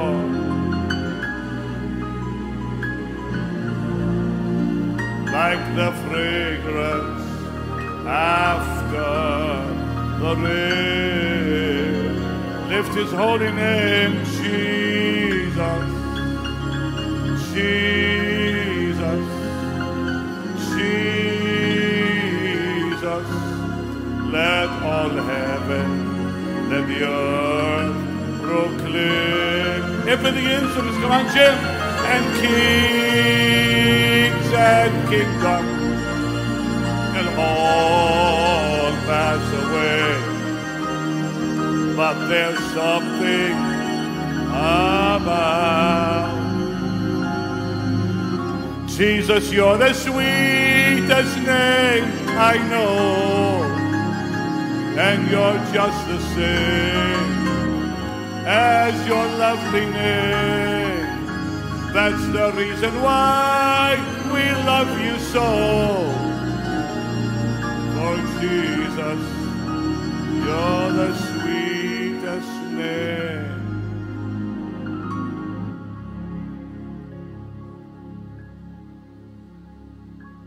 Holy,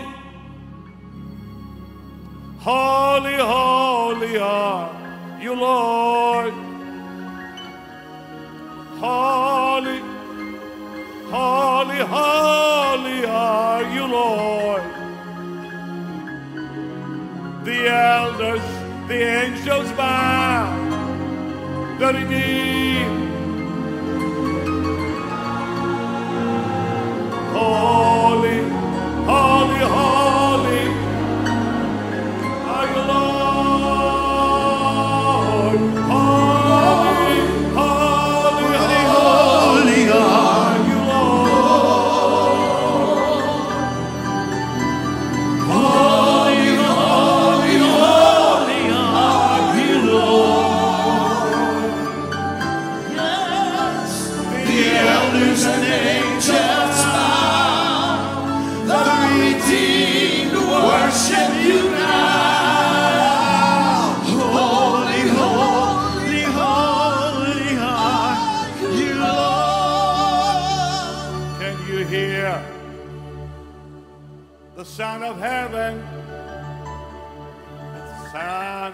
many waters.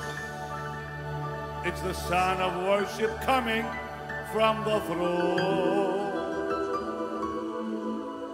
There are cries of adoration as men from every nation lift their voice to make his glory known.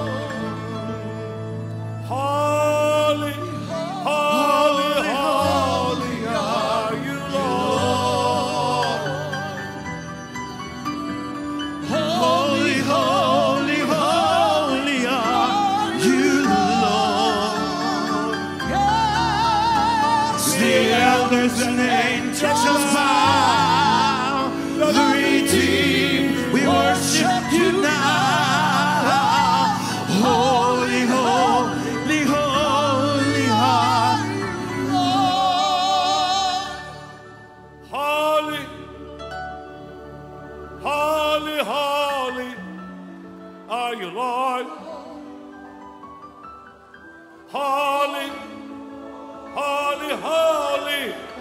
are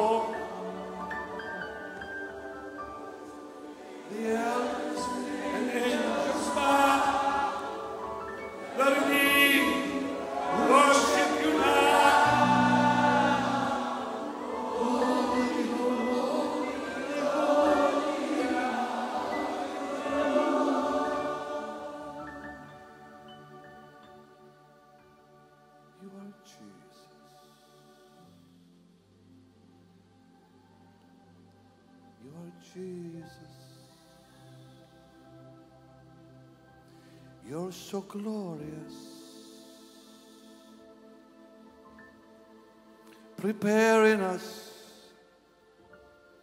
your temple. We are born as living stones where you're enthroned. As you rose from death and power, come rise within our worship, rise upon our praise. Let the hand that saw you raise. Clothe us in your glory.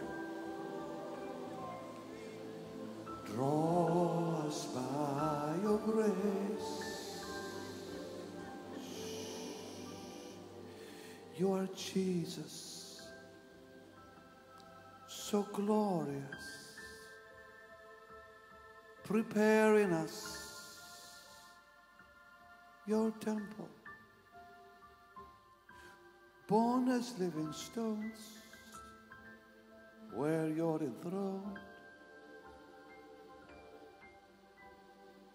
As you rose from death in power, come rise within our worship. Rise upon our praise. Let the hand that saw you raise, please clothe us in your glory. Draw us by your grace. Oh, the glory of your presence. Of your presence. We, are temple.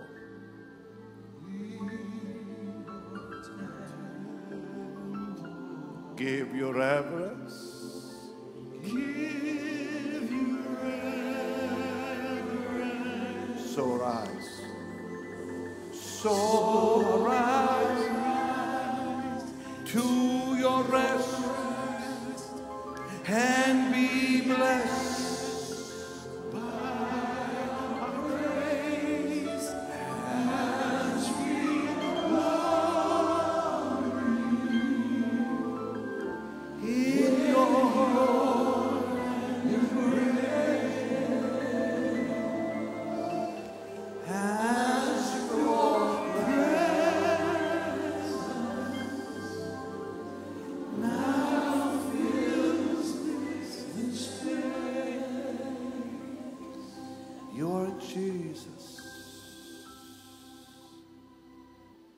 so glorious.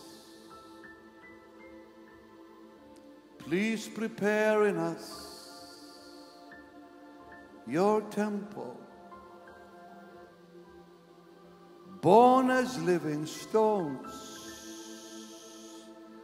where you're enthroned. As you rose from death in power, come rise within our worship. Rise upon our praise. Let the hand that saw you raise clothe us in your glory. Draw us by your grace. Tell him. Oh, the glory of your presence.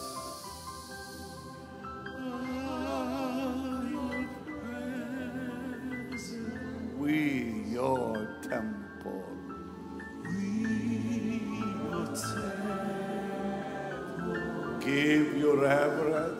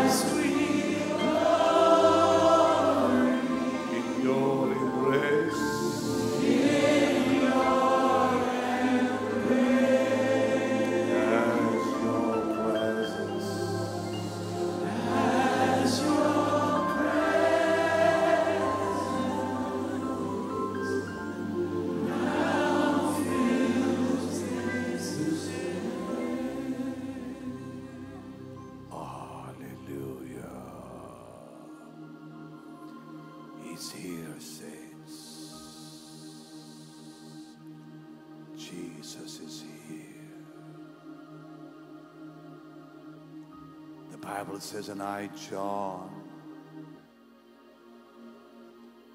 I, John, was on the Isle of Patmos. And I turned to see the voice that spake to me. And I saw one standing in the midst of the candlesticks, eyes were like fire, who shone brighter than the sun whose hair was white like wool.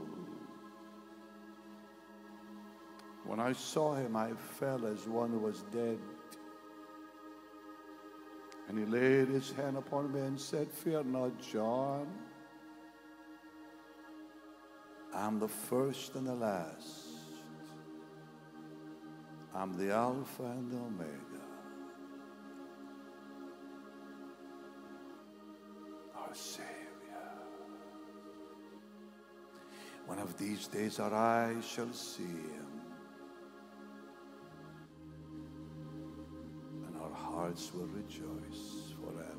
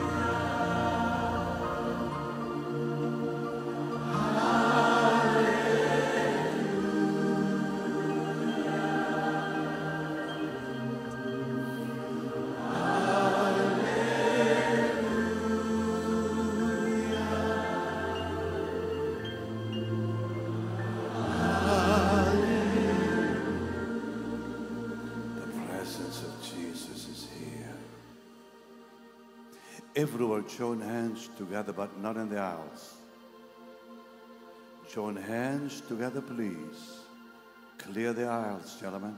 Ushers, ushers, no. I want no, no one in the aisles. Clear the aisles, please. Such a mighty presence of God here. Lift your hands to heaven above as you join them together. Oh, Jesus. Your word declares, and suddenly there came from heaven the sound of a mighty rushing wind. It filled the house. Let the same wind of the Holy Ghost come into this room now. Touch your people now. Touch! Touch! Touch! Touch! Touch!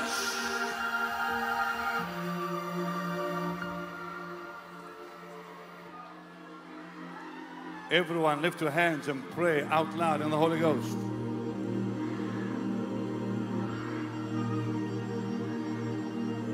In the Holy Ghost.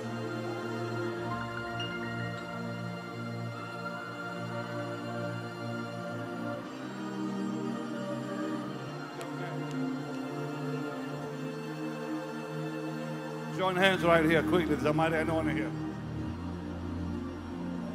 Receive it in the name of Jesus. Clear the aisles, clear the aisles, clear the aisles, clear the aisles. Receive it, receive it, receive it, receive it, receive it, receive it.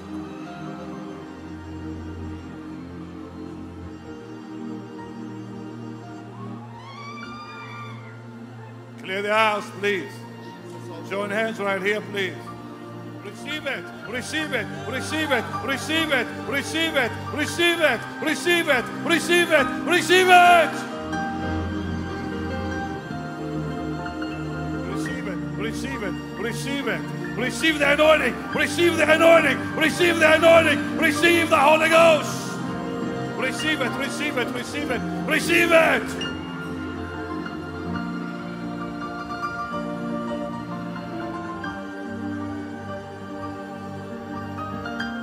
Receive the anointing. All the pastors, all the preachers, get down here now. All full time ministers, get down here now quickly. Everyone in ministry, get down here quickly.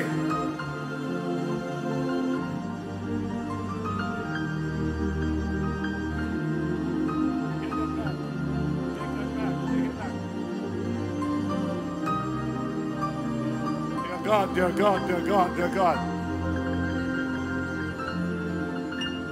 Here goes, here goes, here goes, here goes, here goes, here goes. The anointing, the anointing, the anointing, the anointing, the anointing, the anointing of the Holy Ghost.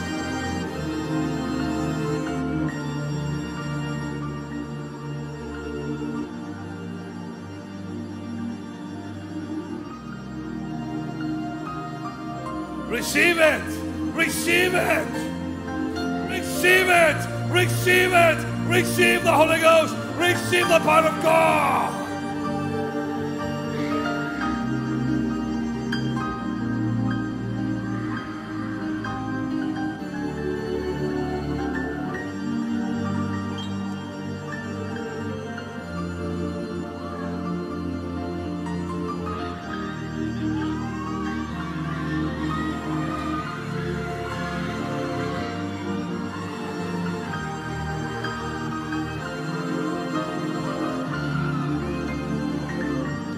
Joshua, come here quickly, please.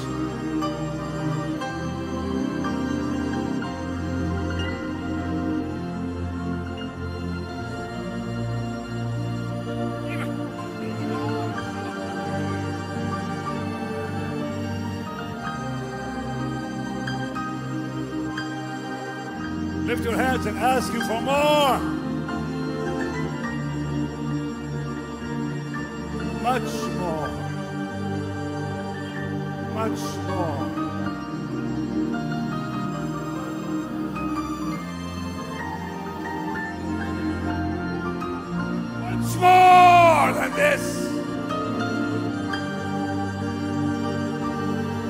Fire, Lord.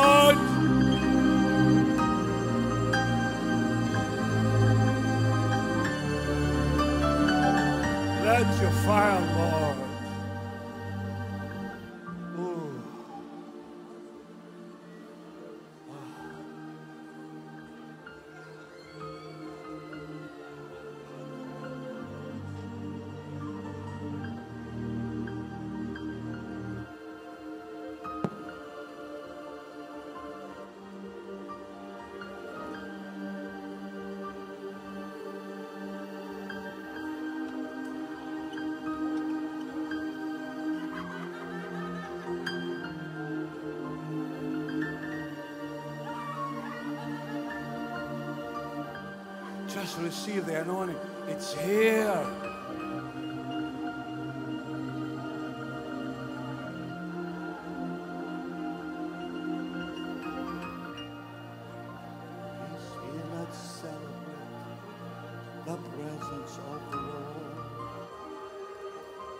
He's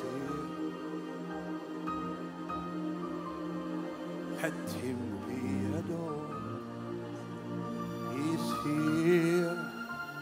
To worship Him. is such a sweet reward. He is here in our midst. He is here. Surely the presence of the Lord is in this place. I can feel His mighty power and His grace. This is the time to lift your hands and ask Him for the biggest request you have. Ask Him for the biggest request. Give Him the biggest request. Hold nothing back. Don't limit Him. Don't limit Him.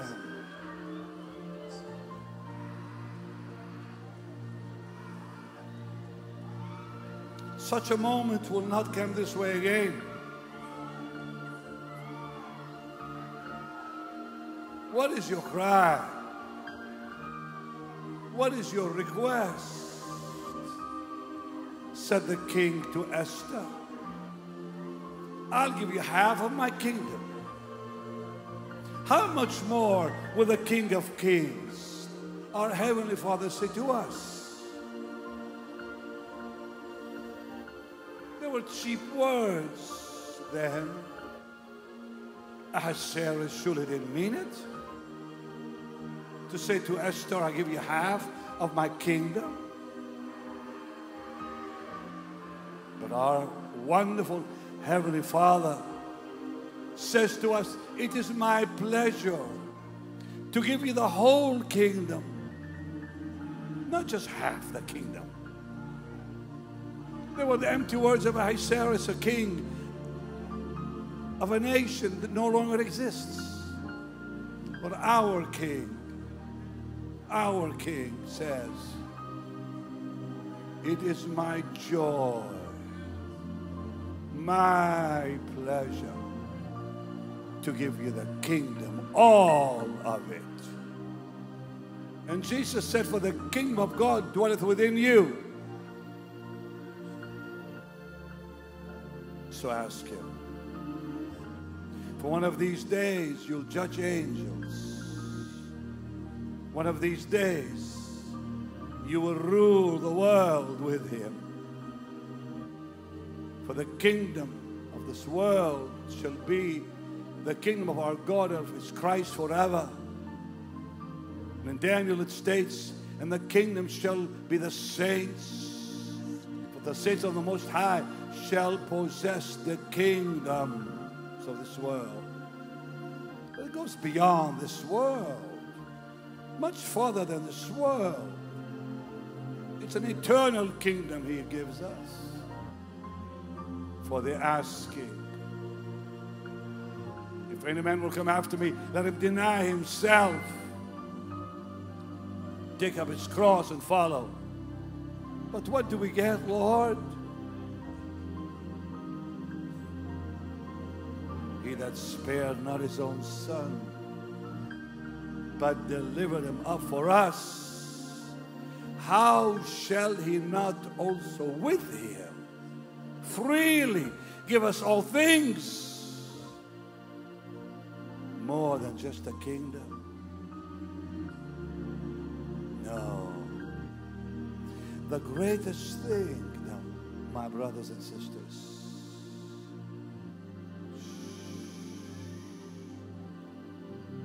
I stand in awe of you, Lord.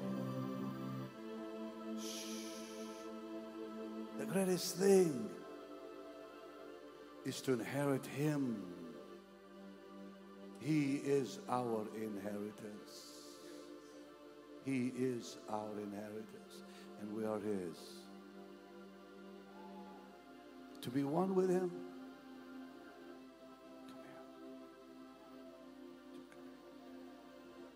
The one with the glasses. That one. There's a call on your life. A call on your life. I saw you last night. There's a blessed treasure inside of you.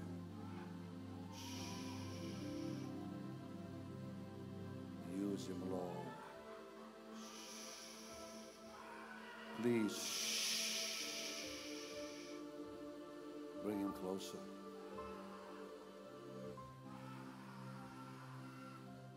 When I look into your holiness, when I gaze into your loveliness,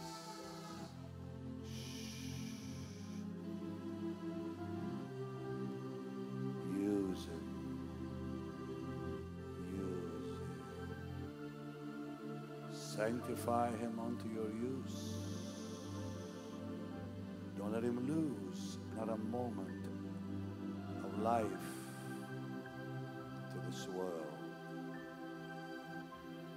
I give his life to you as he gives his life himself to you. And I declare him to be your servant, your soldier, your vessel, as he stands and blesses your servant, Joshua Dag, and those around him. Use him.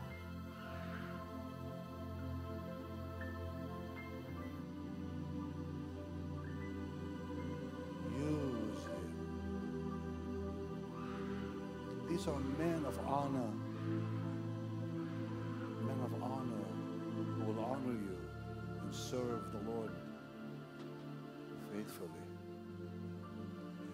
Lord, let them all be men and women of honor will serve you faithfully.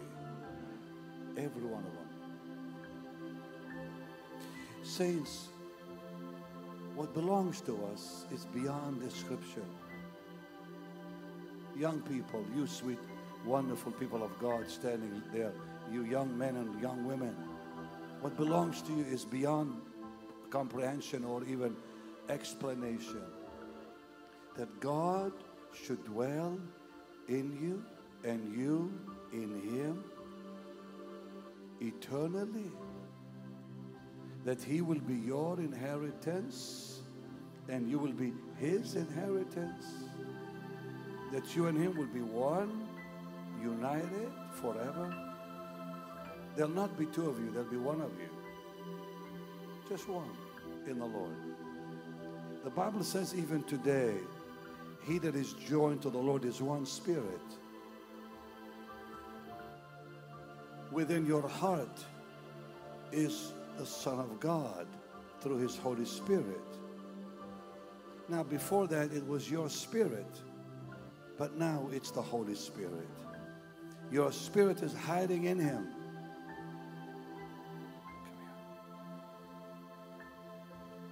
Because now we are hiding, we're hidden in him. There's not two in our hearts, there's only one. He that's joined to the Lord is one spirit. The reason I'm calling you up is because I saw this man last night. And the Lord spoke to me about him. I don't even know his name. I think I know his. I think he told me. I'm not sure. No, not him. This man there. It's Daniel, isn't it? Yeah.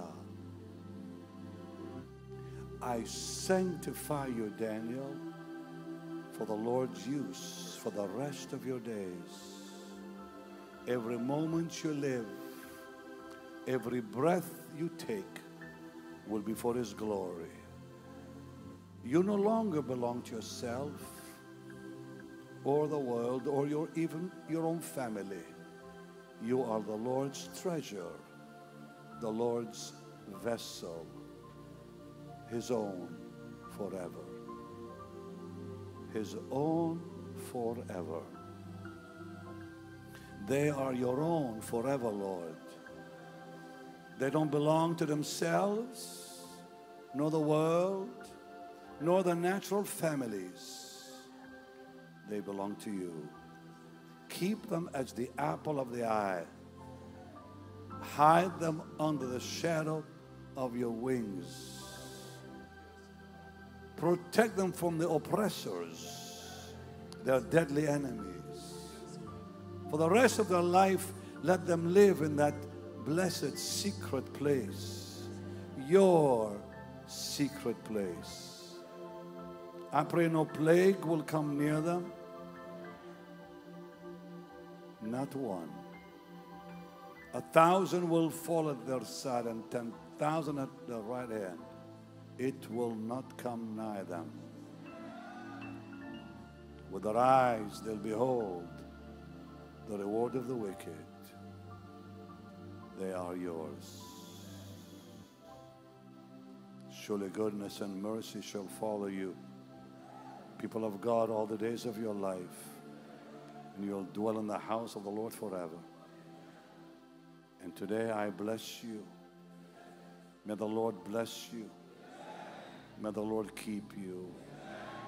May the Lord cause his face to shine upon your life and give you peace for the rest of your days, for the rest of your life. Now, Lord, I seal your blessings on their life, on their destiny in you, in Jesus' name. As I stood here tonight and I sensed his incredible sweet, tangible presence. I thought I had died and gone to heaven. I was gone. I was, something happened to me physically, mentally earlier. And as that, that anointing began to sweep over my soul and your soul earlier, uh, God sent me here for more than just ministering His word. I can tell you by the Spirit, a new mantle is coming on your life. Don't lose it. Don't let anyone steal it. How many of you tonight sensed something come upon you? I did. I felt something on my head earlier. I felt a, a blessed, powerful force over my head. Did any of you feel the same? Wave if you did. I believe God is placing on you a new mantle. Lift your hands and thank Him. Just audibly thank Him. And the Lord is going to use you in a mighty way here in Ghana and beyond Ghana.